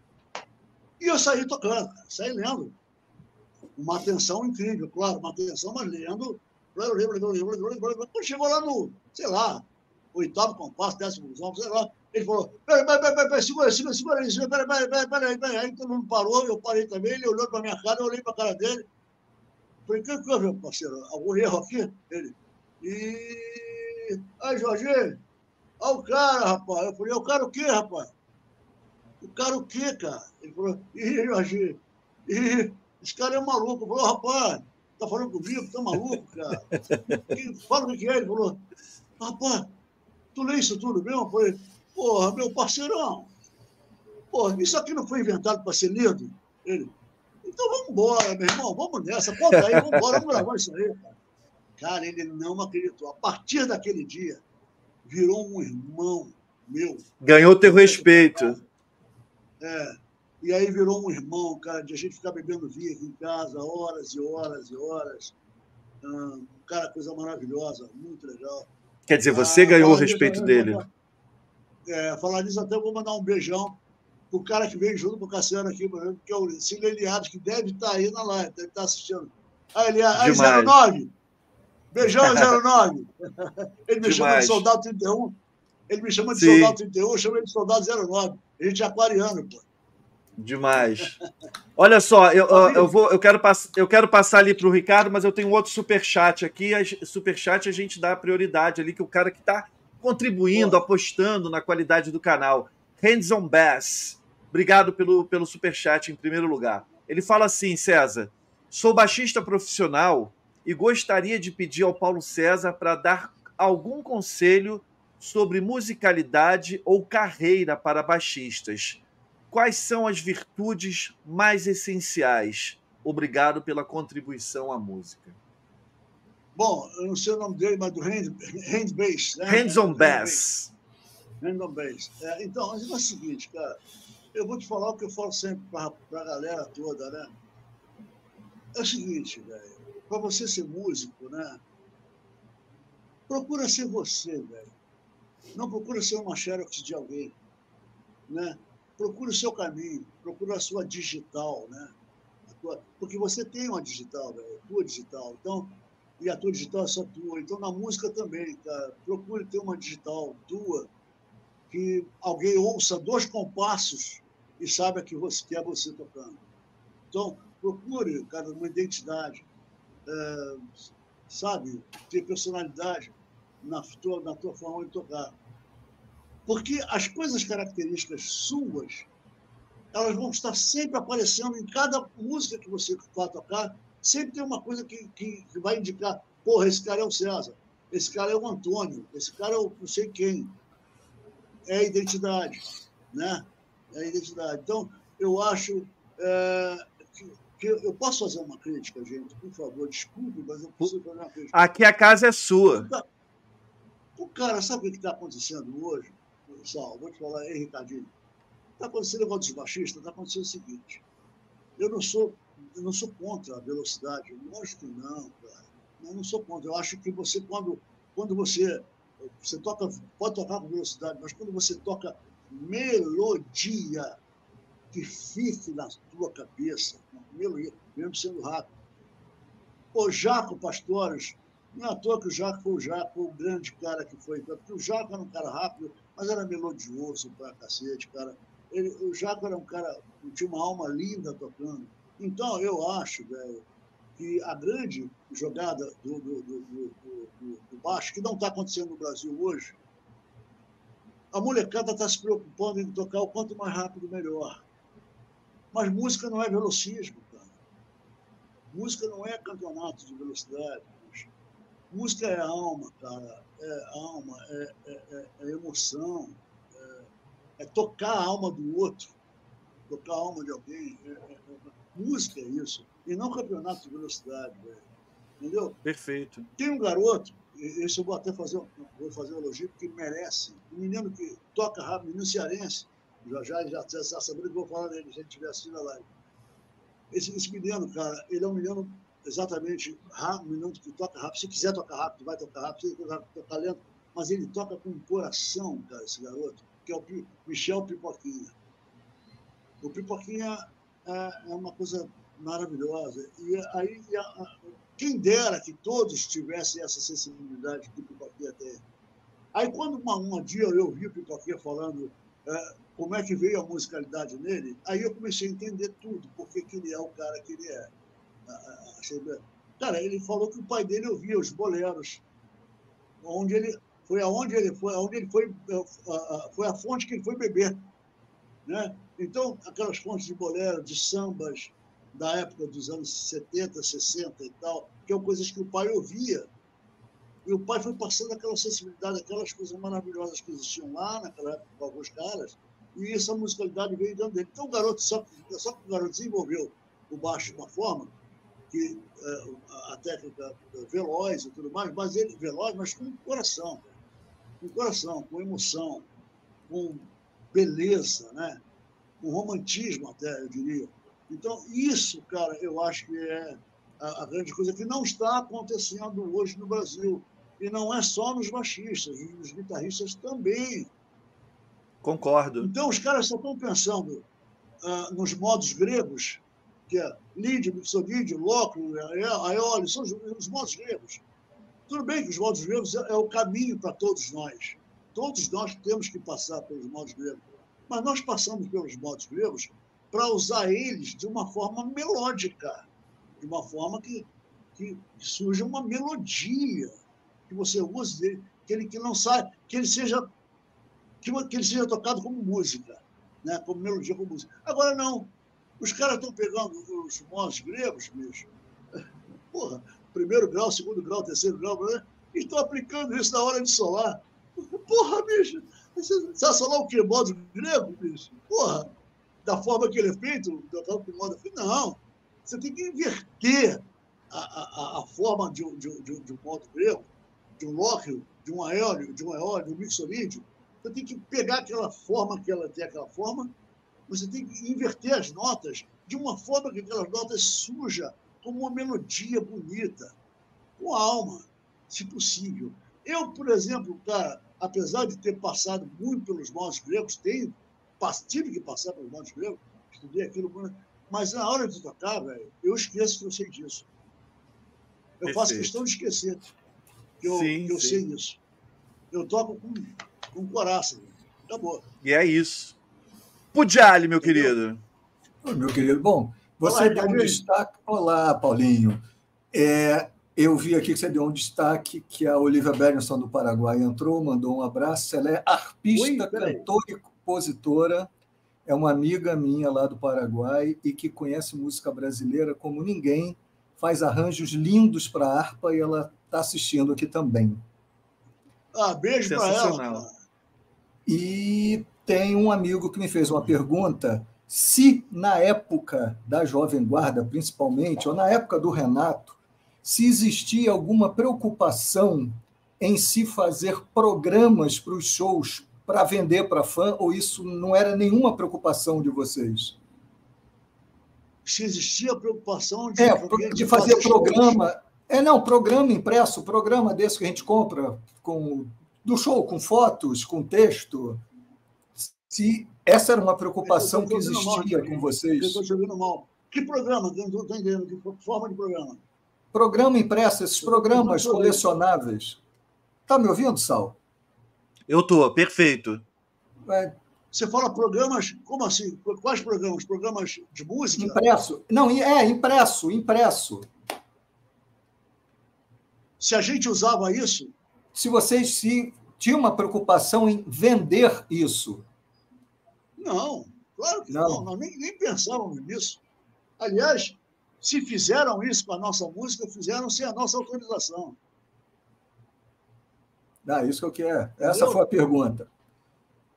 É. Ó, o, o César, o, o, o, o seu genro está perguntando, tá pedindo para eu te lembrar de você comentar sobre o captador do seu baixo. Valeu, Serginho. Beijão, meu Serginho. Serginho. Serginho ficou comigo até esses dias agora, foi, voltou para casa para São Paulo. Agora, Serginho que fez a ponte, Serginho que fez a ponte para essa live. Muito obrigado, Serginho. Verdade. Verdade. Não, Adoro não, e muito engraçado, César, que ele virou para mim, ele se apresentou e falou de você, e tipo assim, o que que eu achava de, de, de, de fazer uma live com você? Eu falei, porra, fala sério, né, bicho? Vambora, quando? Quando que a gente faz, né? Imagina, Bicho, pô, tudo que eu queria, sensacional. Cara, é, é, seguinte, Sal, é, é, é, isso é uma dívida que eu tenho, que é muito bacana, é a dívida que eu tenho com, com, com o Érico, o Érico da, da Malagoli. Se o Érico estiver assistindo a live, eu nem avisei para o Érico que eu ia fazer essa live, esqueci. Desculpe, Érico, se você estiver assistindo, eu não te avisei. Mas o Érico é um. Não só o Érico, a família toda Malagoli que está envolvida nesse, nesse projeto de captadores brasileiros, a nível internacional. Ah, eu diria eu acho que eu diria que os captadores internacionais estão chegando no nível do, do, do Malagoli. que é uma que o, o, o Érico está conseguindo, ele com mais a turma dele, da família, que é uma família tradicional paulistana, é, eles conseguiram desenvolver uh, essa marca de captadores, Malagoli, é uma coisa extraordinária, velho. E nós fizemos um acordo, né, eu e Érico, de, de eu passar a representar, usar nos meus baixos, né, usar a marca uh. E realmente o resultado é surpreendente. É, o ganho, a qualidade do, a sonora do captador, é, a qualidade geral, não tem nenhum rame assim, no captador, não tem um ronco, um rame, não tem nada. Ele, lindo, limpo, certinho, maravilhoso. E eu fui até um pouco abusado na configuração que eu usei. Eu falei com o Érico, Érico, é o seguinte, quando um contrabaixo tem a, tem a, a configuração de, de dois captadores P, né, Precision, P, P, e um J, que é de Jazz Bass, isso da, da, dos baixos da Fender, né, porque o, o baixo da Fender é o seguinte, é o Precision vem só com captador Precision, e o Jazz Bass vem só com dois captadores de Jazz Bass. Agora, essa configuração Precision e Jazz Bass uma coisa que o maluco inventou e já usa há muitos anos também isso. Mas aí, normalmente, o que, que se faz? Uh, se usa no, no, captador da frente, que é o, que é o Precision, uh, o quarter pound, que é um, uma sonoridade bacana e e um ganho natural. Pá, pá. E o jazz bass, que fica perto da ponte, esse sim, você coloca ele hot, quente, ah, para compensar a distância da corda que perde, perde mais volume aqui no final, e para compensar, então, para ficar igualado com o P, você bota um hot, um hot aqui. Mas a verdade é que eu abusei. Eu abusei, eu botei, falei, Érico, eu vou botar os dois hots. Vou botar tanto o Precision como o Jazz Bass, eu vou botar os dois hots. E, e, foi, e assim que está o meu baixo, está com essa configuração, apesar de eu ter o quarter pound guardado aqui. Mas a configuração Demais. que está no baixo está campeã da da, da Hot Hot, né? Os dois Hot. Demais. Tá? Uma, pressão, uma pressão absurda. E a qualidade da Malagoli, cara, que é absurda. Estou super feliz e espero é, eu com o Érico a gente conversar é, o mais rápido possível, porque vão ter outros projetos por aí para a gente desenvolver coisas bacanas, entendeu? Maravilha. E, inclusive, cara, deixa eu te falar uma outra coisa. Você já falando claro. dos captadores, dos captadores da Malagoli, eu tenho gravado muito com esse baixo. Os meus Fenders são maravilhosos, claro, são maravilhosos. Mas eu estou usando um captador, os Maragora, de um baixo nacional, que é de extrema qualidade. Não vou falar a marca, porque eles são ruins de jogo, entendeu? Eles poderiam estar tá já pensando, há muito tempo já poderiam estar tá pensando, talvez até num, num endorser aí da minha parte com eles, mas eles são ruins de jogo. Então, beleza. Eu gosto do instrumento deles, eu gosto. Mas não boto, não digo a marca, não digo para ninguém. Inclusive, eu fico tá fechado, tá tapado com, com fita onde tem a, a, a marca. Não vou fazer merchandising deles de jeito nenhum, mas o instrumento é muito bom. Então, a mecânica do instrumento é muito boa. E quando eu botei os, os balapoles nele, tirei os, os captadores originais da, da fábrica e botei os balapoles nele, aí o que, que aconteceu? Minha neta é, ela mora nos Estados Unidos, a neta. É, não é coisa de vovô babão que eu vou te falar, não, tá? Coisa verdadeira mesmo, análise fria. Ela, ela vai ser uma das maiores cantoras do mundo. É uma coisa é, assustadora, né? Eu vou até falar dela aqui, não sei se ela está assistindo. Viu, baixinha? Não sei se você está me assistindo aí, não sei, mas é o seguinte. É a Luísa Prochet. A Luísa a Luísa é uma coisa assustadora. Então, e ela tem gravado muito comigo. Né? Ela grava nos Estados Unidos, a base inteira, com os músicos americanos e o baixo. Eu boto aqui no Brasil. E eu botei agora esse instrumento, que tem os malagores. Gravei, estou gravando com ele, lá fora. E os caras lá, quando ouviram, chaparam com, com o som do baixo, chaparam com o timbre do baixo. Para você ver a qualidade do, do captador da bicho. Né? Que demais. Ganhando, ganhando do local onde é a fonte, onde foi criado o troço, né? tá ganhando dos caras, bicho, que inventaram o negócio. Sensacional.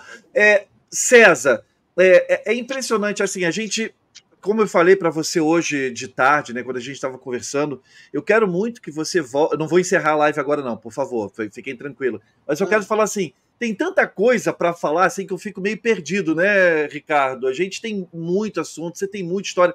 Eu quero falar das músicas, quero ouvir história de gravações, de bastidores e tal. Eu quero muito fazer uma outras, uma outra, uma outras é ótima, uma outra segunda live, uma terceira, uma quarta live para a gente ouvir essas histórias. E você também é um grande é, compositor. Tem, tem, uma, tem uma canção, uma canção que, que tem aquela levada quando o Roberto estava influenciado ali pelo Tim Maia, na coisa do soul e tal.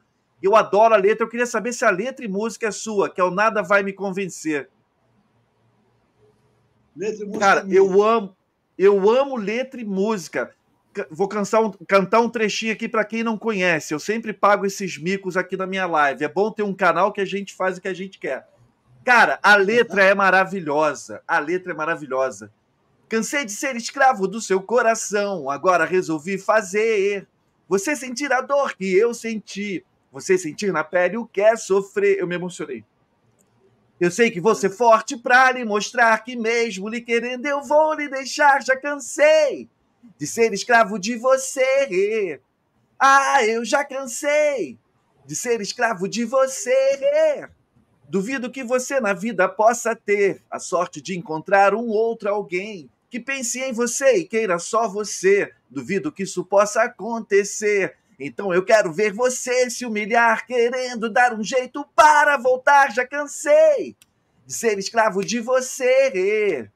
Eu já cansei de ser escravo de você. Chega, eu não vou mais forçar aqui para a galera o ouvido do pessoal. Mas eu amo essa música. Muito obrigado por tê-la composto. É isso. Eu Cara, amo, eu amo, amo. momento que eu estava compondo isso na casa da minha mãe. Cara, essa letra é maravilhosa. E eu tenho uma coisa curiosa nessa música aí. Que eu estava fazendo esse soul music com o Roberto, sem saber qual seria o repertório desse disco, o próximo disco dele. Eu não sabia de nada. Pode aí, crer. Quando eu cheguei no, no estúdio para gravar uh, o disco todo dele, eu tinha essa minha, né? Uh, uh, nada lá me convencer. Como de repente eu esbarrei, esbarrei na do Tim, no mesmo disco.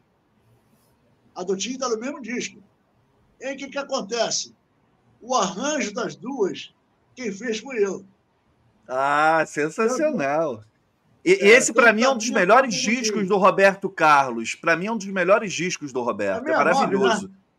É, é aquele que ele está sentado na, na, na areia da praia. Uhum. 69. 69. 69. 69. É maravilhoso 69, esse álbum. Cara, é maravilhoso. E aí foi gozado, porque eu já estava com, o arranjo da minha na cabeça, né? Eu sabia o que, que, eu ia fazer, porque nessa época eu não sabia escrever música. A levada é muito música. boa. Então eu tinha que passar de boca o arranjo para o Pachequinho, que era o maestro Pachequinho. Então eu passava os metais, passava o baixo, passava a bateria, como é que era, para ele escrever lá e tal. Porque eu não sabia escrever. Aí eu estou fazendo o arranjo dela, né? Os metais, né?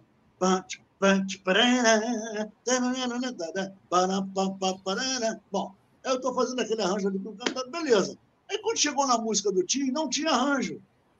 Aí eu ouvi a música do Tim e falei, porra, Pachequinho, então vamos lá, eu faço. Eu faço para você, você escreve. Eu faço. Demais. Aí fiz o arranjo. Fiz o arranjo do, do Tim, Pachequinho escreveu. Demais. E nós gravamos. Lindo. Lindeza, lindeza. Meu amigo Nilson acabou de mandar um, um, um salve aqui para mim agradecendo o papo com, com o Paulo César, falando aqui, ó, falando, lembrando, né? O baixista mais gravado do país, salve Renato, seu, Renato seus Blue Caps, é um abraço. Ele, ele é um grande baterista, ele é hold também, já e falou que tá, já trabalhou com você em algumas situações. Beijão, meu querido Não, amigo Nilson. Nilson, Nilson Batista. Isso. Ele foi hold do Engenheiros na época que a gente se conheceu, ele era hold dos Engenheiros mas ele já trabalhou com a, com a Marina, já trabalhou com, com a Martinalha, com uma galera. O Nilson é, o Nilson é da pesada também, é dos nossos.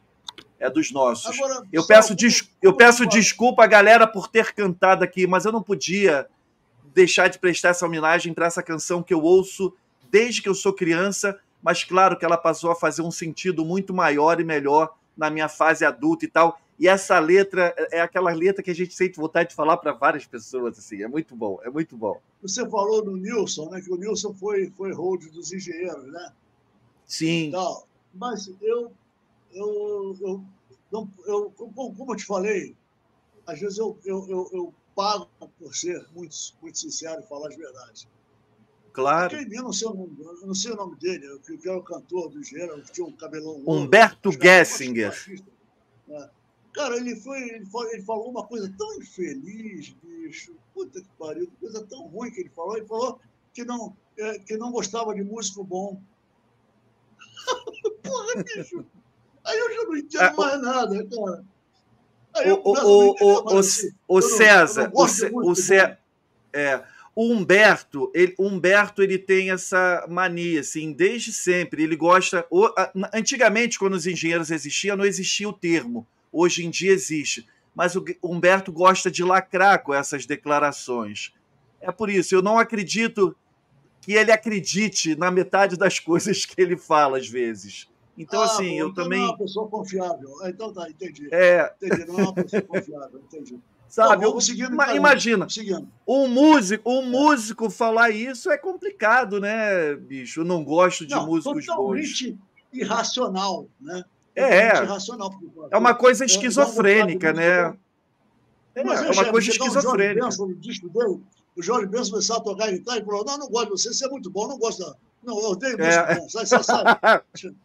Chama um chegar para o Frank, chegar para o Frank Sinatra, Frank Sinatra, você canta muito bem, não gosto de você, você canta bem demais, assim. Por favor, não, não serve. É, não, não, não dá. Não Ricardo dá. Pudiali, Bom, com você, você, meu querido. Já que você chamou assim, Sal, você canta muito bem, não quero mais te ouvir cantar. Por... Obrigado, obrigado. ah, não, sério. Aí, Sal, sobrou para você, Sal. Não, não mas eu, eu, sei, eu, eu, eu, sei que eu não canto bem, mas eu sou cara de pau. Eu sou ariano e sou cara de pau, assim. Aí é eu, eu gosto, né? Você é o dono da camisa, o dono da bola, é o dono do campinho, a gente tem que deixar você jogar, né? Cara, eu adoro os arianos. Eu adoro os arianos. Não foi à toa. Tamo junto. Fui casado 60 Tamo... anos, cara.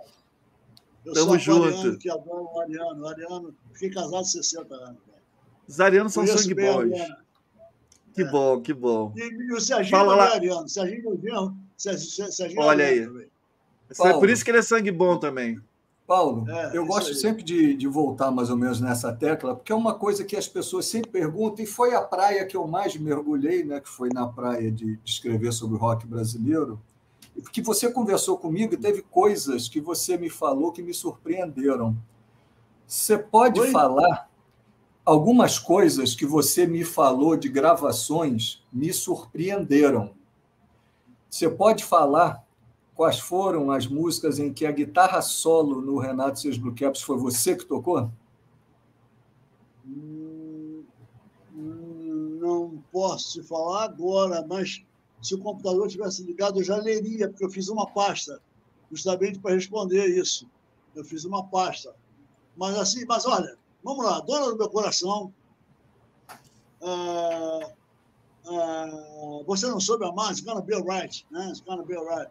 Você não soube amar, bem, aquele som, é outro. Ah, esqueça, perdoa. Usando a alavanca. Essa. Cara, foram tantos, bicho. Mas olha, deixa eu falar, deixa eu explicar por que isso também, tá? Sim, é, sim, irmão, importante. Meu irmão Renato era, era um gênio, meu irmão era, era um cara. A música, a gente tem que agradecer muito a, a, a Deus pela musicalidade que ele deu para os três, né, cara?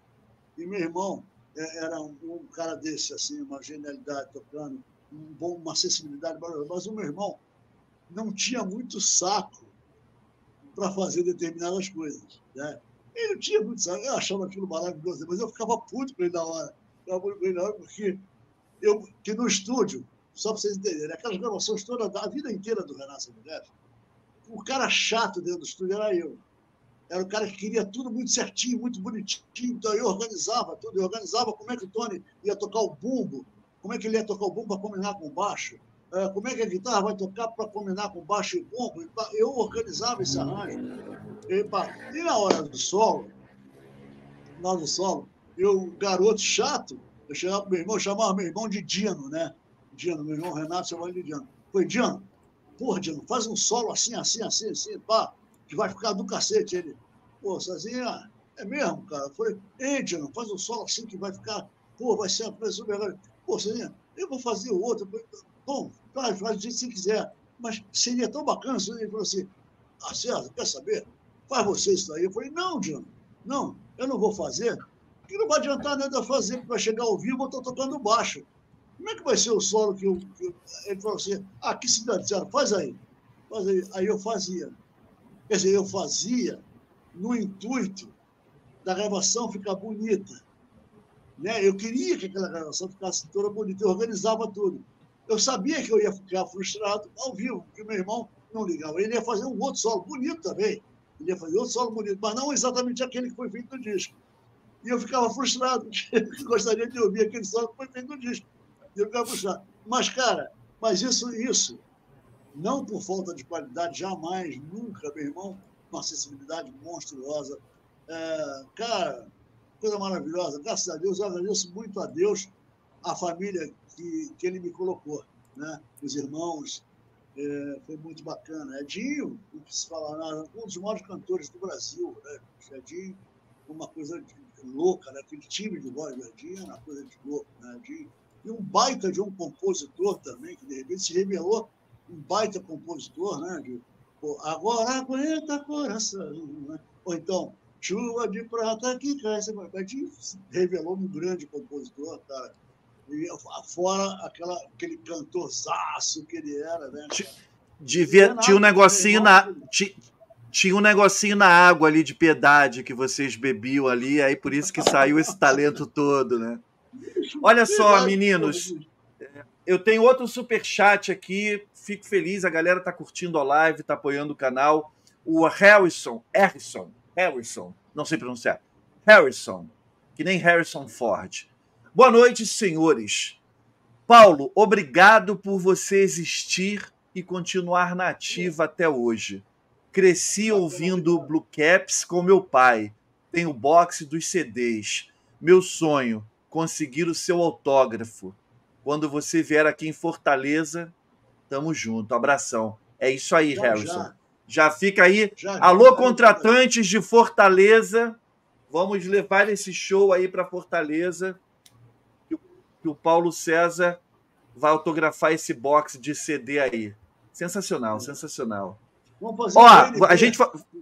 É, eu falei que eu sou ariana aqui, ó. O Sérgio é ariano, a Shirlene é ariana, a Helena, que gostou de mim cantando, é ariana. Todo mundo é gente boa. Heleninha, é, Helena, Helena qual Helena? Helena Cooper? Helena Cooper. Heleninha, Heleninha é uma figurinha, uma figurinha carimbada, bicho. Sensacional.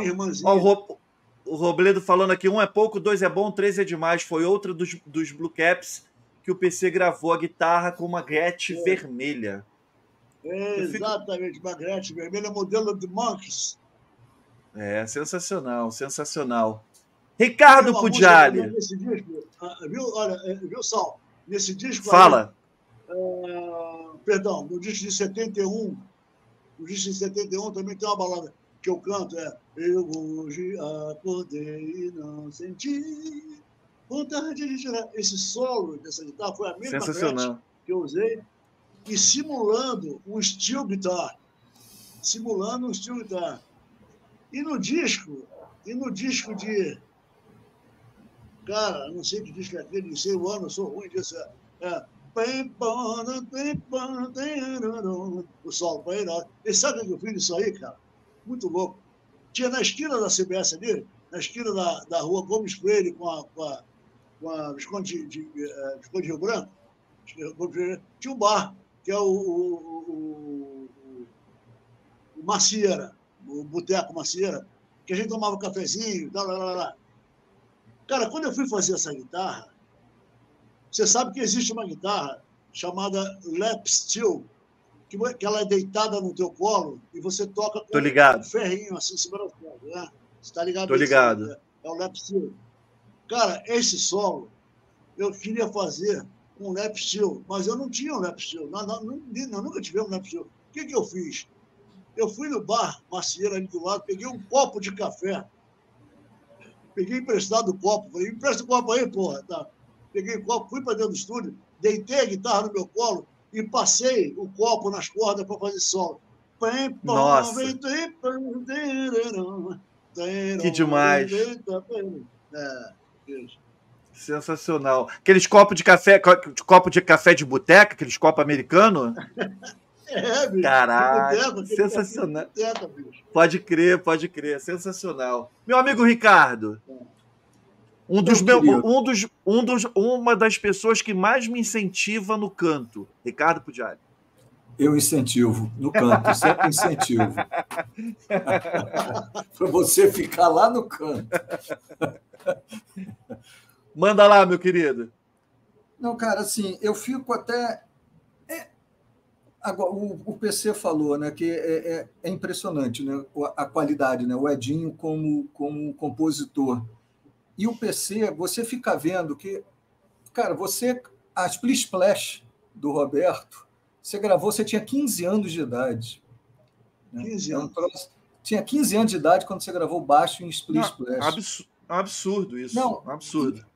E você seguiu anos 70, 80, 90 e abrindo um leque é, de, de, de estilos musicais que é uma coisa muito impressionante, porque não é todo músico que é tão eclético como você, mas com qualidade. É como você falou, tem dois Paulo César.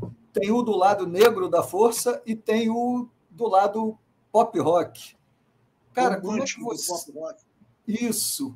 Cara, como é que você conseguiu né, moldar tudo isso numa pessoa só? Porque a gente vê geralmente uma pessoa mais ou menos retilínea, e você não, cara. Quem precisar de você para tocar algum estilo de música, você tá ali e toca como se fosse uma coisa sua. É, é impressionante eu isso. Camisa. Exatamente. Eu, eu, tenho, eu, tenho, a mania de vestir a camisa. Quando eu ia gravar brega, uh, Alípio Martins, tudo, no, tudo Nordeste Norte, os chamados de brega, né? Eu não vejo nem com brega, mas vamos lá, chamados de brega. Alípio Martins, é, Bartô, Galeno, aquela rapaziada toda chamada de brega. Eu, quando ia tocar aqueles baixos, eu vestia a camisa, bicho. Então, por exemplo, o baixo é. Bom, bom, bem, bem, bom, bem, bom, bom, bem, bom. E vamos embora, caminho da roça, vamos nessa, vamos embora. E eu vestia a camisa, cara. Eu, é, é, eu, eu, tinha que tocar aquilo. Se eu não tocasse isso, dessa forma, ia, ia, ia ser um, um baixo mentiroso para aquele tipo de música. Não seria enquadrado aquele tipo de música. Seria um, um estranho no ninho. Seria aquele baixo estranho no ninho. Todo mundo tocando de um jeito, aquele baixo querendo tocar de outro jeito lá. Não, cara eu vestia camisa, como era tocado brega. Por exemplo, nesse momento aqui agora, eu sou um brega. Aí boto baixo da minha mão e bora. Bom, bem, bem, bom, bem, bem, vamos embora, caminho da roça. Cara. Você, você servia a música. Claro, eu, cara, eu pus exatamente. Claro, eu, eu, eu falei isso um dia desses no Facebook. Eu sempre toquei para música. Eu nunca toquei para o meu ego. Nunca, jamais toquei para o meu ego. Eu sempre toquei para a música. Eu sempre sirvo a música e não o meu ego. Não é babaquice, cara. É coisa de babaca.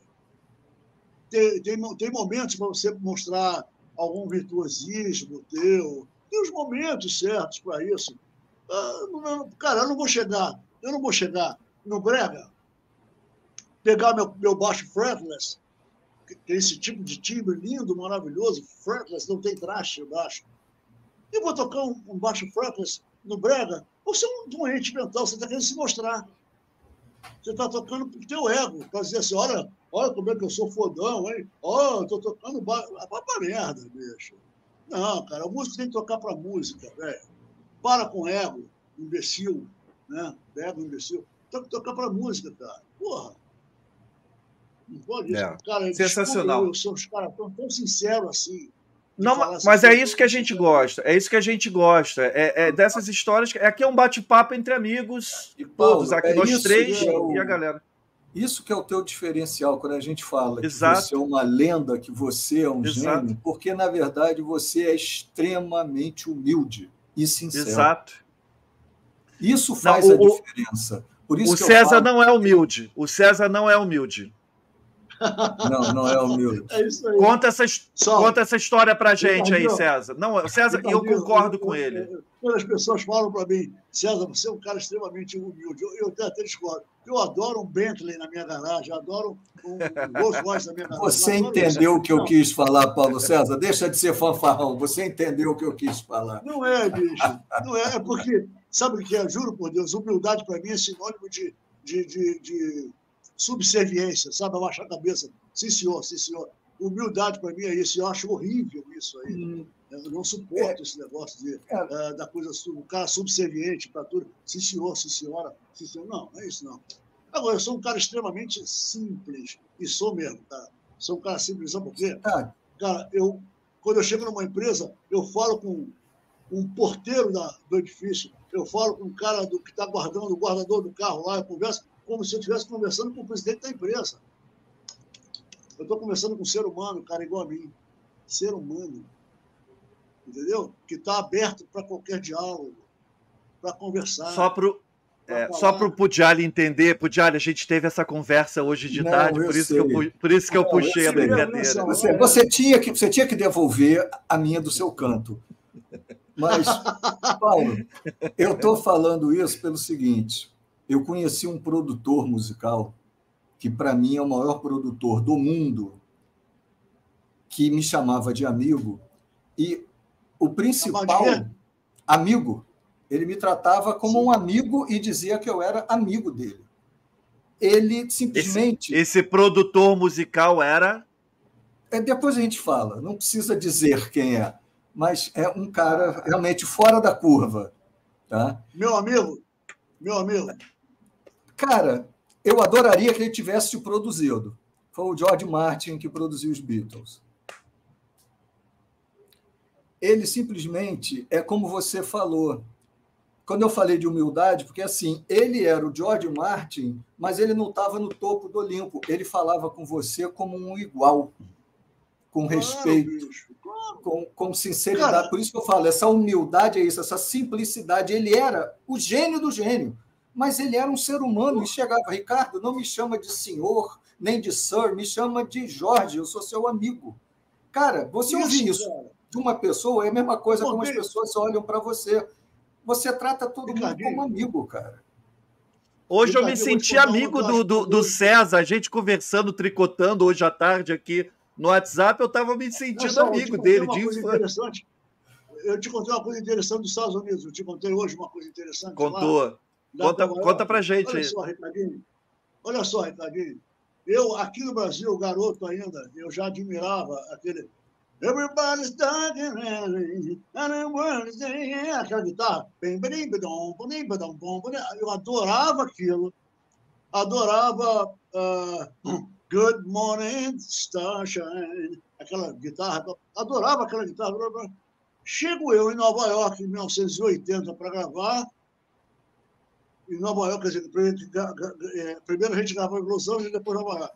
Saímos de Los Angeles fomos para Nova York. Eu cheguei em Nova York dentro do estúdio, com a orquestra, com todo mundo.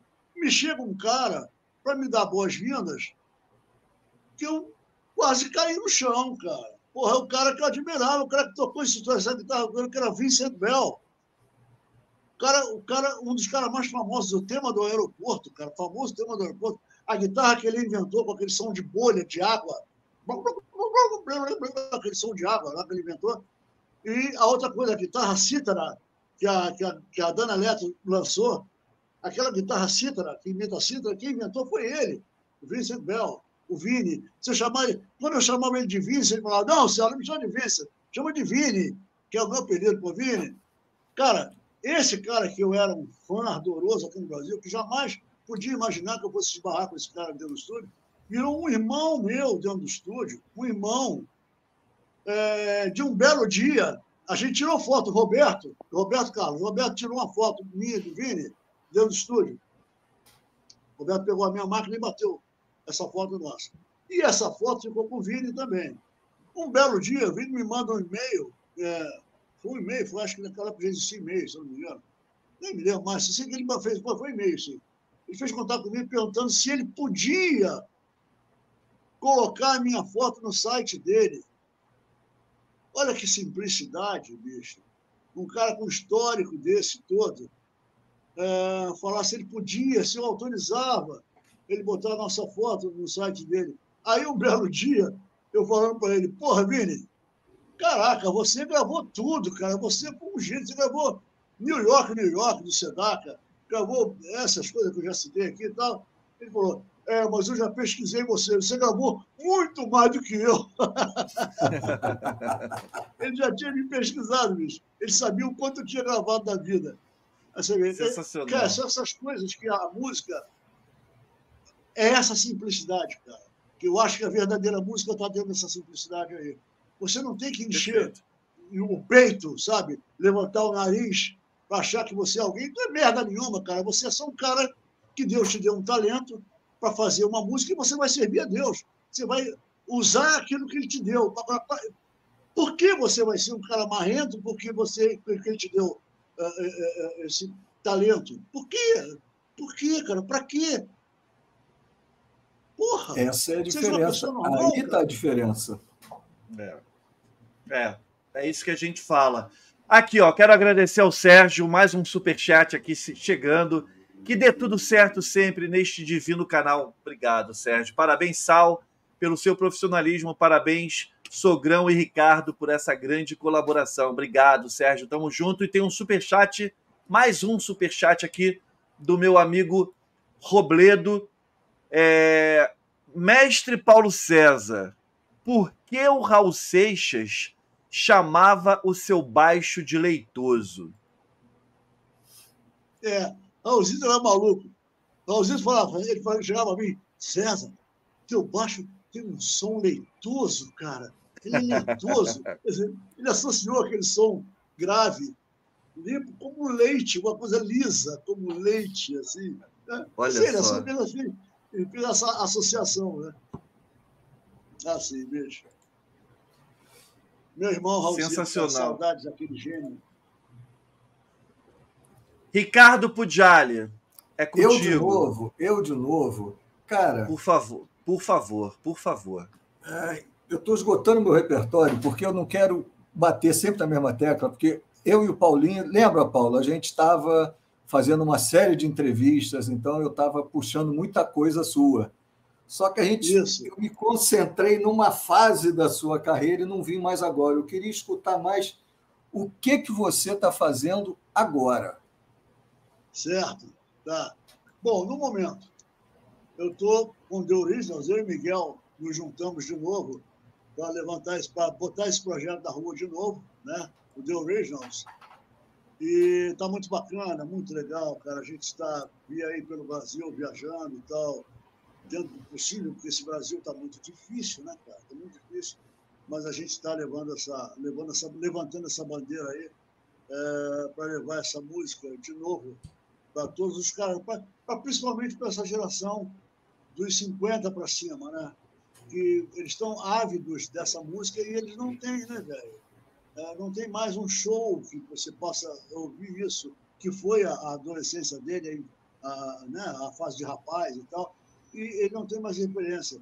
E hoje o Brasil, tão violento do jeito que está, o cara com mais de 60 anos de idade, ele hoje não vai para a rua para assistir um show para voltar às três horas da manhã para casa. Ele não faz mais isso, ele não faz essa loucura. Ele sabe da violência que está o Brasil. Então, é, isso é um conselho que eu dou até para os empresários, para os donos de casas noturnas. Se o cara quiser fazer um projeto de música dos anos 60, 70, faça mais cedo, que acabe cedo. Porque se ele for para acabar tarde de madrugada, ele não vai ter público. Não vai ter. É verdade. É, é verdade. Galera verdade. em casa, cara. É preocupação. Sim. Né? Olha só, eu, eu tenho aqui. É, desculpa, eu, eu, perdão, eu, perdão, eu que, eu, que, eu que me passei, perdão. É, aí, então, só, olha só, respondendo Ricardinho. Ricardinho, então, olha só, eu viajando com o The Originals e o meu setup aqui, o meu estúdio, eu gravo para o mundo inteiro, cara. Meu, meu baixo, para qualquer um, né? para todos que quiserem, eu estou aqui para isso, para gravar os baixos, principalmente, não, principalmente não posso falar assim, mas é que eu gosto da, da negritude, entendeu, cara? Então, é, a galera, a galera do Soul Music, né, do funk, do Soul Music, que quiser é, me dar o prazer de participar dos seus projetos, eu estou aqui para gravar com a alma verdadeiramente, com um soul verdadeiramente é, dentro dos conformes, né, de como tem que ser. Né? Então, estou aí. Mas então é isso. Estou gravando aqui no meu estúdio para todo mundo. Fizemos, fiz o disco do Ed agora há pouco tempo, Ed Mota, fiz o disco do Ed, Aline Barros, uh, isso as mais conhecidas assim há pouco tempo. Estamos fazendo, eu, Guto Graça Mello, eu, Guto Jurim Moreira, Paulinho Calazans, estamos fazendo um disco de um menino lá em, de um menino de São Paulo. A gente está gravando no estúdio lá em, em Cunha, que, que, é uma cidadezinha do lado, é uma serra, do lado de Paraty. E ele mora, ele mora nesse. A, a sogra dele fez um, pegou uma montanha em Cunha e fez um, um, um, um, um, é, um resort lá na, lá, na, lá na montanha, né? E, com vários chalézinhos. E ele fez um baita de um estúdio de primeiro mundo na montanha. E, então, o Guto está produzindo ele, o Guto Caçamelo, o Guto produz o, o FI. Uh, o FI está tá, tá gravando o disco do FI. Então, a gente sai aqui do Rio, Vamos para lá, passamos três dias maravilhosos na montanha, ar puro, água filtrada da, da bica, água da fonte, limpinha e tal, e gravamos. Então, cara, a gente, é esse projeto que a gente está assim, sempre fazendo. Cara. Eu estou aqui continuando essa, essa, essa coisa de gravação que eu adoro, né, cara? Adoro, adoro muito. Foi, agora foi há pouco tempo em Jundiaí também, vou participar de um show de um amigão, meu irmão, que deve estar assistindo a live aí, né? que é o meu amigo Wendel, lá de Jundiaí. Wendel também fui lá um dia desse para dar um abraço dele. É isso, cara. A gente está por aí. A vida vai seguindo. E eu tenho. Esse... Deixa eu só Fala, Ricardo. falar rapidinho, claro. Acabar. Não, não, não se esqueça que eu esqueço as coisas. Claro, é, claro. Você falou dos originals. E eu lembro do primeiro show dos Originals no Canecão. O Edinho foi lá em casa pedindo para eu escanear umas fotos para colocar no CD. Olha, e ele cara. foi, e ele, é, a gente ficou lá de noite escaneando várias fotos de vocês lá, né, garotos. E aí o meu cachorro, que era um pincher, não é um cachorro, é um pincher, comeu todo o cadarço do tênis novinho em folha do Edinho. Aí eu lembro, eu, a minha lembrança do primeiro Originals foi meu cachorro comendo o cadarço do tênis do Edinho. Você sabe que, Mas... no, você sabe que no primeiro projeto eu estava fora, né? Você sabe disso? Você Sim, lembra? eu sei. No primeiro projeto, do lançamento do Originals, é. eu estava fora. Era é, quem estava tocando, não era o. No, quem estava tocando era era o, Nenê. menino. Nenê, isso, Nenê do, dos Incríveis. Isso. O Nenê é maravilhoso, o Nenê, que entrou no meu lugar. E, quer dizer, ou seja, a banda ia ser lançada comigo, mas eu não podia assumir. Então, teve que remanejar a banda. Então, o, Netinho foi e trouxe o Nenê. Sim. Aí, aí se compôs a banda, e nem o Edinho era da banda. Né? Na, na primeira formação, que aconteceu com o Edinho, na verdade, a primeira formação não tinha o Edinho. A primeira formação era eu, olha só, que não aconteceu, tá? era, era o de origem, que era o Netinho, Pedrinho, Almir, Cleodir, Miguel e eu. Como eu não pude assumir isso, não dava para mim, o Netinho então falou assim, pô, cara, aí o, o Miguel pensou, pô, então o César era baixista e cantor, mas eu não tenho mais o César. O César não vai poder assumir, então vou ter que trazer um cantor e um baixista. Aí ele trouxe o Edinho, que era Barros também, da família, o Edinho para entrar no meu lugar como cantor, e o Nenê para entrar como baixista no meu lugar. Então, eu era dois em um, então, mas como eu não estava, aí teve que botar duas pessoas, o Edinho, e, e aí foi lançado o The Originals dessa forma. Eu só vim assumir o The Originals em 2008, no terceiro DVD. No segundo também eu não estava, não participei. Só vim assumir o The Originals no terceiro, foi quando eu estava mais tranquilo para poder assumir. E aí ah, assumi legal. e tal, foi muito, muito bacana, e tal, legal, foi muito Demais. legal. E aí depois a banda esfriou, parou, não sei como é que foi isso. E agora há pouco tempo, Miguel, como nós somos irmãos há muitos anos, né?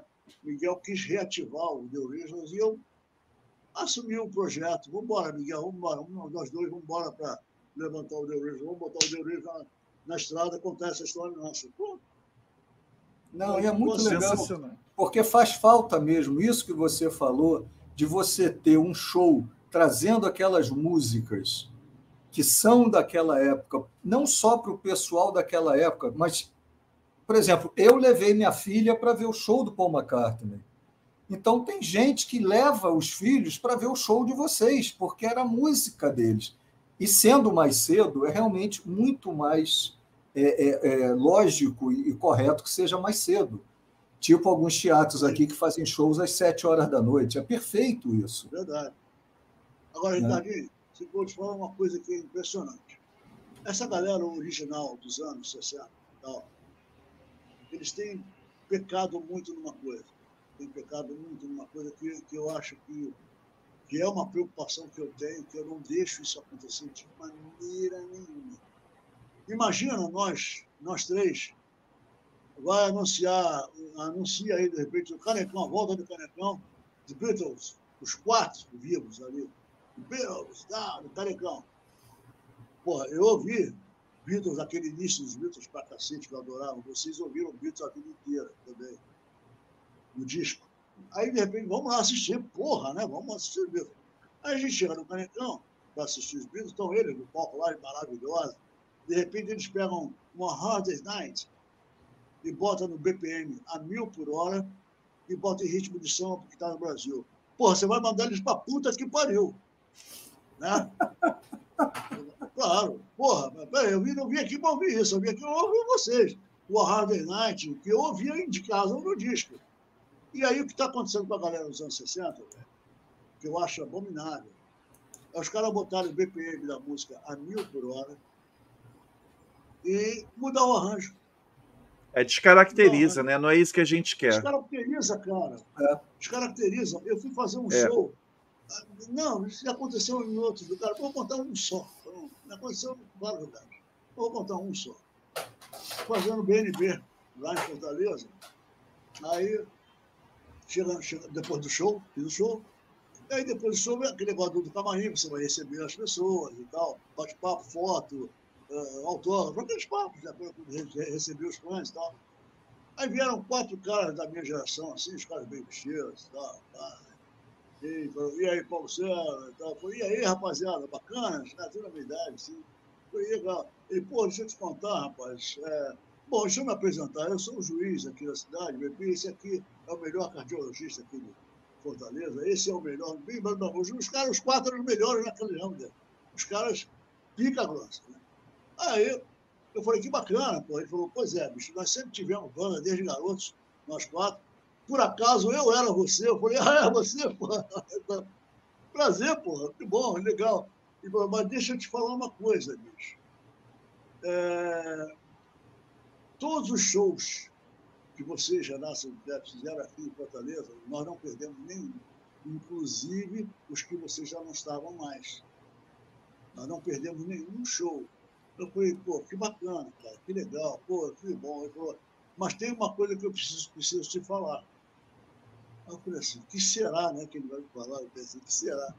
Ele falou assim, olha, nós conversamos entre nós quatro aqui conversando e nós chegamos realmente à conclusão que hoje, no teu show, desses anos todos, desde 1960 o Brinco, hoje foi a primeira vez que nós ouvimos Renato Silva Pérez.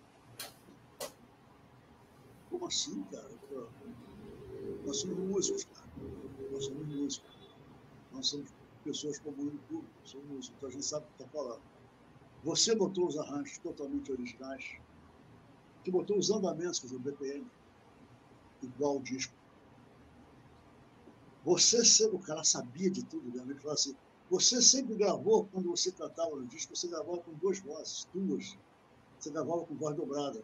E você cantou hoje aqui com voz dobrada realmente. Porque tinha uma voz minha real e uma outra voz no laptop, porque para ficar exatamente igual ao som do disco. Né? Tem, que ficar, tem que ficar igual. Eu penso que tem que ficar igual, igual ao disco. Então, eu não sou duas pessoas, né? Mas como eu gravava, sempre gravava com duas vozes, Eu falei, eu tenho que arranjar uma maneira de ficar com essas duas vozes, para não fugir a característica sonora do que todo mundo ouvia. E eu fiz isso. E ele falou, cara, então, nós, eu não sei o que, que você está usando, se você está usando um computador, se você está usando um, um, um, um DAT, eu não sei o que você está usando, mas nós ouvimos nitidamente as duas vozes suas como no disco. Eu falei, é, cara, eu estou usando o laptop aqui para fazer, para dobrar a voz, para fazer a dobra de voz, e para ficar igual. Vocês têm que ouvir aquilo que era feito. Eu penso assim, então, quando eu vou ouvir, quando eu penso que vou gravar, assistir o show dos Beatles, eu quero ouvir o que eu ouvi em casa, cara. Quando eu botar o vinil. Eu quero ter essa mesma sensação. Então, e, e a galera, bicho, dos anos 60, ah, essa galera está tá descaracterizando, cara, tudo que foi feito. É, a gente não vai citar nome aqui, mas a galera de São Paulo, tudo, meus irmãos, meus amigos, mas se empolgam muito com a coisa do músico e esquece, cara, da, daquela verdade que foi feita no, no disco e não apresenta aquilo que a pessoa quer ouvir. Ela quer ouvir aquilo, cara, do disco. Então, é, eu sou meio chato nesse ponto. Então, com The Originals, eu estou fazendo exatamente isso com The Originals.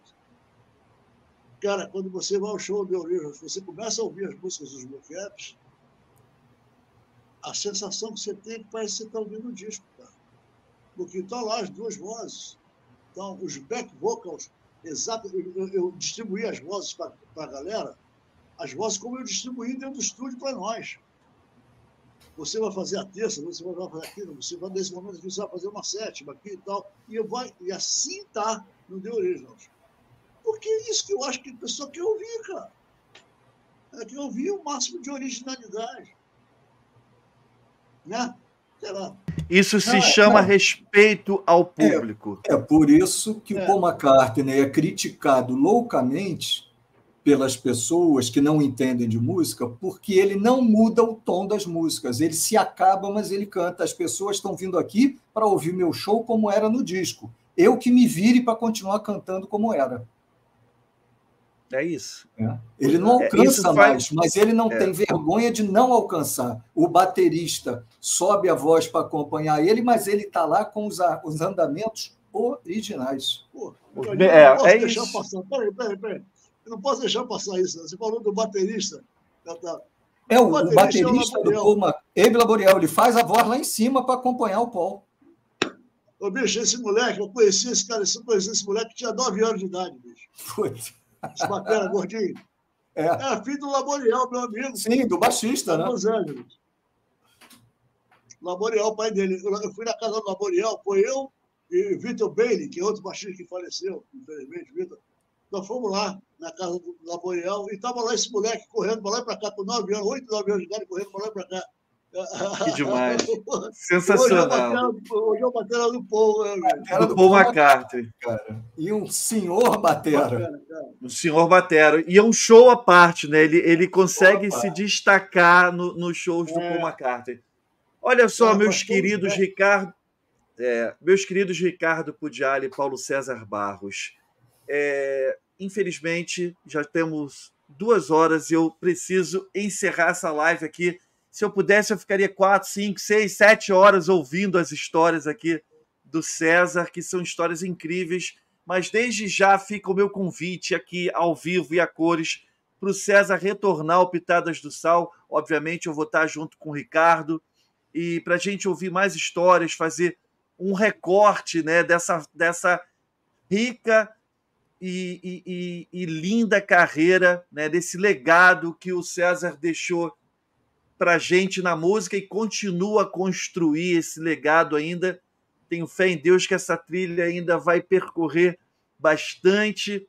E estão me convidando a mim e o Ricardo aqui para um show em março. Acho que vai ter em São Paulo.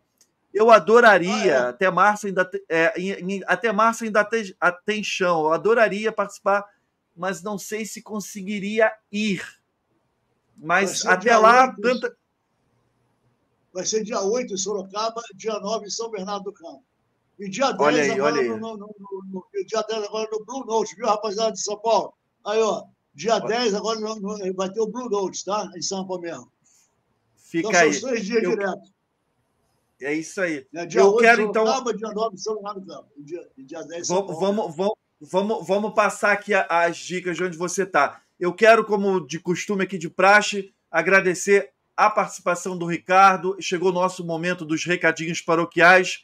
Ricardo sempre, o Ricardo aqui, o Diário sempre tem novidades musicais para nos é. trazer. Sempre, sempre, sempre, Ricardo. A primeira tá de todos é... A bola está contigo. A bola está comigo. Tá, Olha seus recadinhos paroquiais.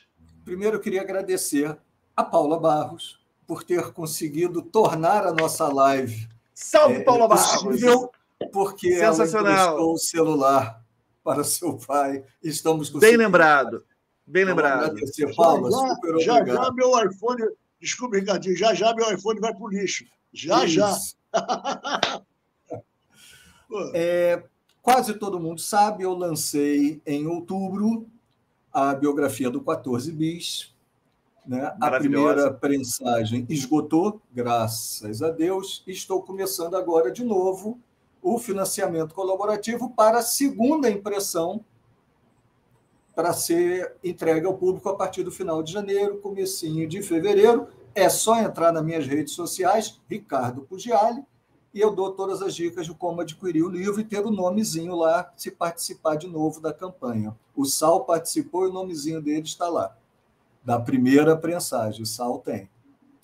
Sou e eu, sigo, eu sou desse. sigo ainda, né, tem os meus canais, eu vou voltar com o meu podcast, eu tenho o meu, o meu videocast também, que vai voltar, e principalmente eu ainda tenho o meu livro dos Beatles, né, que é o segundo volume da, da série que eu estou fazendo, ainda está à venda, que é o 1980, 1970 1980, que eu tenho uma série de promoções no meu site para quem quiser comprar.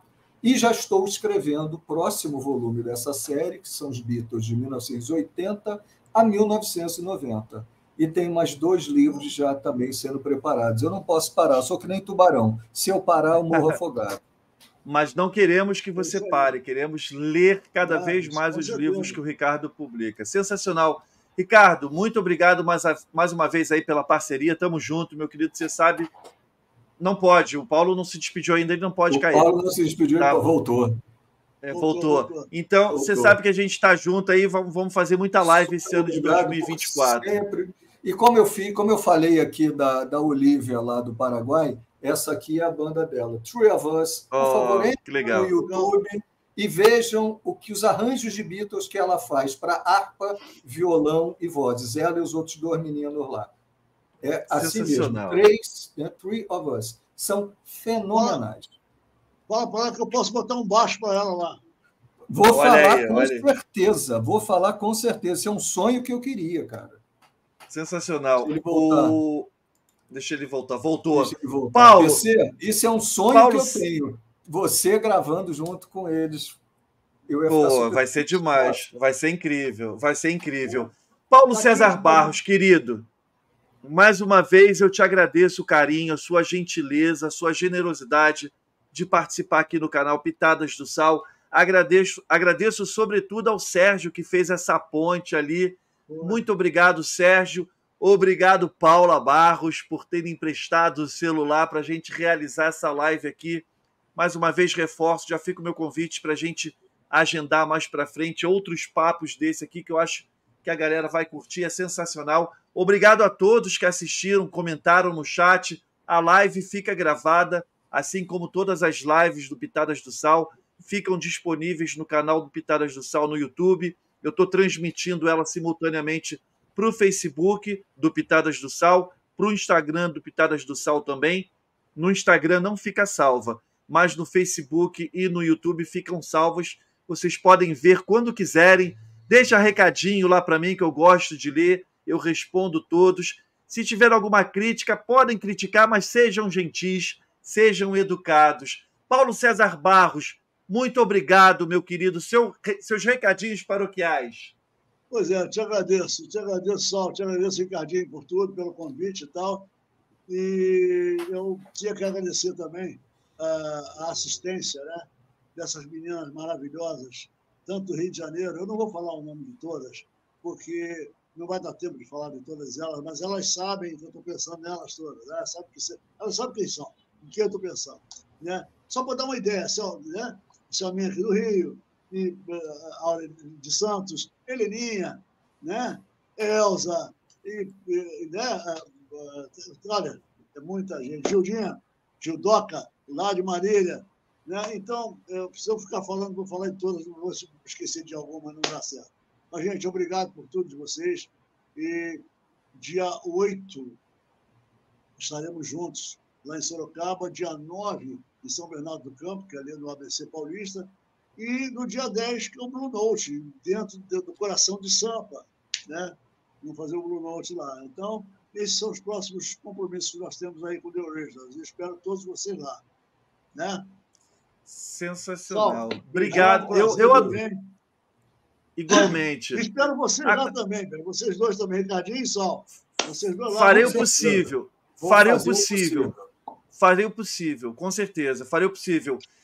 Pessoal, mais uma vez, é, fica o meu agradecimento aqui da galera do chat. Quem não for inscrito no Pitadas do Sal no YouTube, considerem se inscrever. Tem lives maravilhosas aqui com esses artistas incríveis aí da pesada, como Paulo César Barros. Tem live com o Netinho, que eu também fiz com com o Ricardo Pudiali. Tem uma live especial, a primeira que eu fiz com o Ricardo Pudiali aqui, em homenagem ao nosso ídolo maior aqui, nosso Robertão, não foi? Foi. Ricardo, Não, só, dá Ricardo, no... só dá Ricardo Pudiali nesse canal? É isso mesmo? É, o Ricardo Pudiali tem aí para mais de 10 lives aqui no canal, no acervo do Pitadas. Mas o Pitadas tem muita live, tem Hildon, tem Netinho, tem Frejá, tem. Nossa, tem muita gente. Eu não quero tem. falar com todo mundo aqui. E amanhã eu faço, eu faço convite Amanhã eu faço uma live com o Grupo Front. Eu vou conversar com o Nani, com o Ricardinho Palmeira e com o meu amigo Rodrigo Santos também, que lançou Ixi. álbum novo do Grupo Cara, Front. Sensacional. Diga, Sal, diga que eu mandei um beijão pro Ricardinho e pro Nani, cara. São dois. Pode deixar. Agora, quanto à nossa live, vamos, vamos fazer uma nossa live com um capítulo de Roberto Carlos, tá? Vamos. Ah, sim, adorei, sim. adorei, certeza. adorei. Com certeza. Sensacional. Meu irmão Roberto, vamos, vamos, vamos fazer esse recorte. Sensacional, sensacional. Adorei. Vamos fazer assim. Eu estou encerrando a live aqui, César e Ricardo, e me despeço de vocês dois offline. Segura aí. Valeu, galera. Beijo para quem é de beijo, abraço para quem é de abraço. Valeu, tchau, tchau, até amanhã.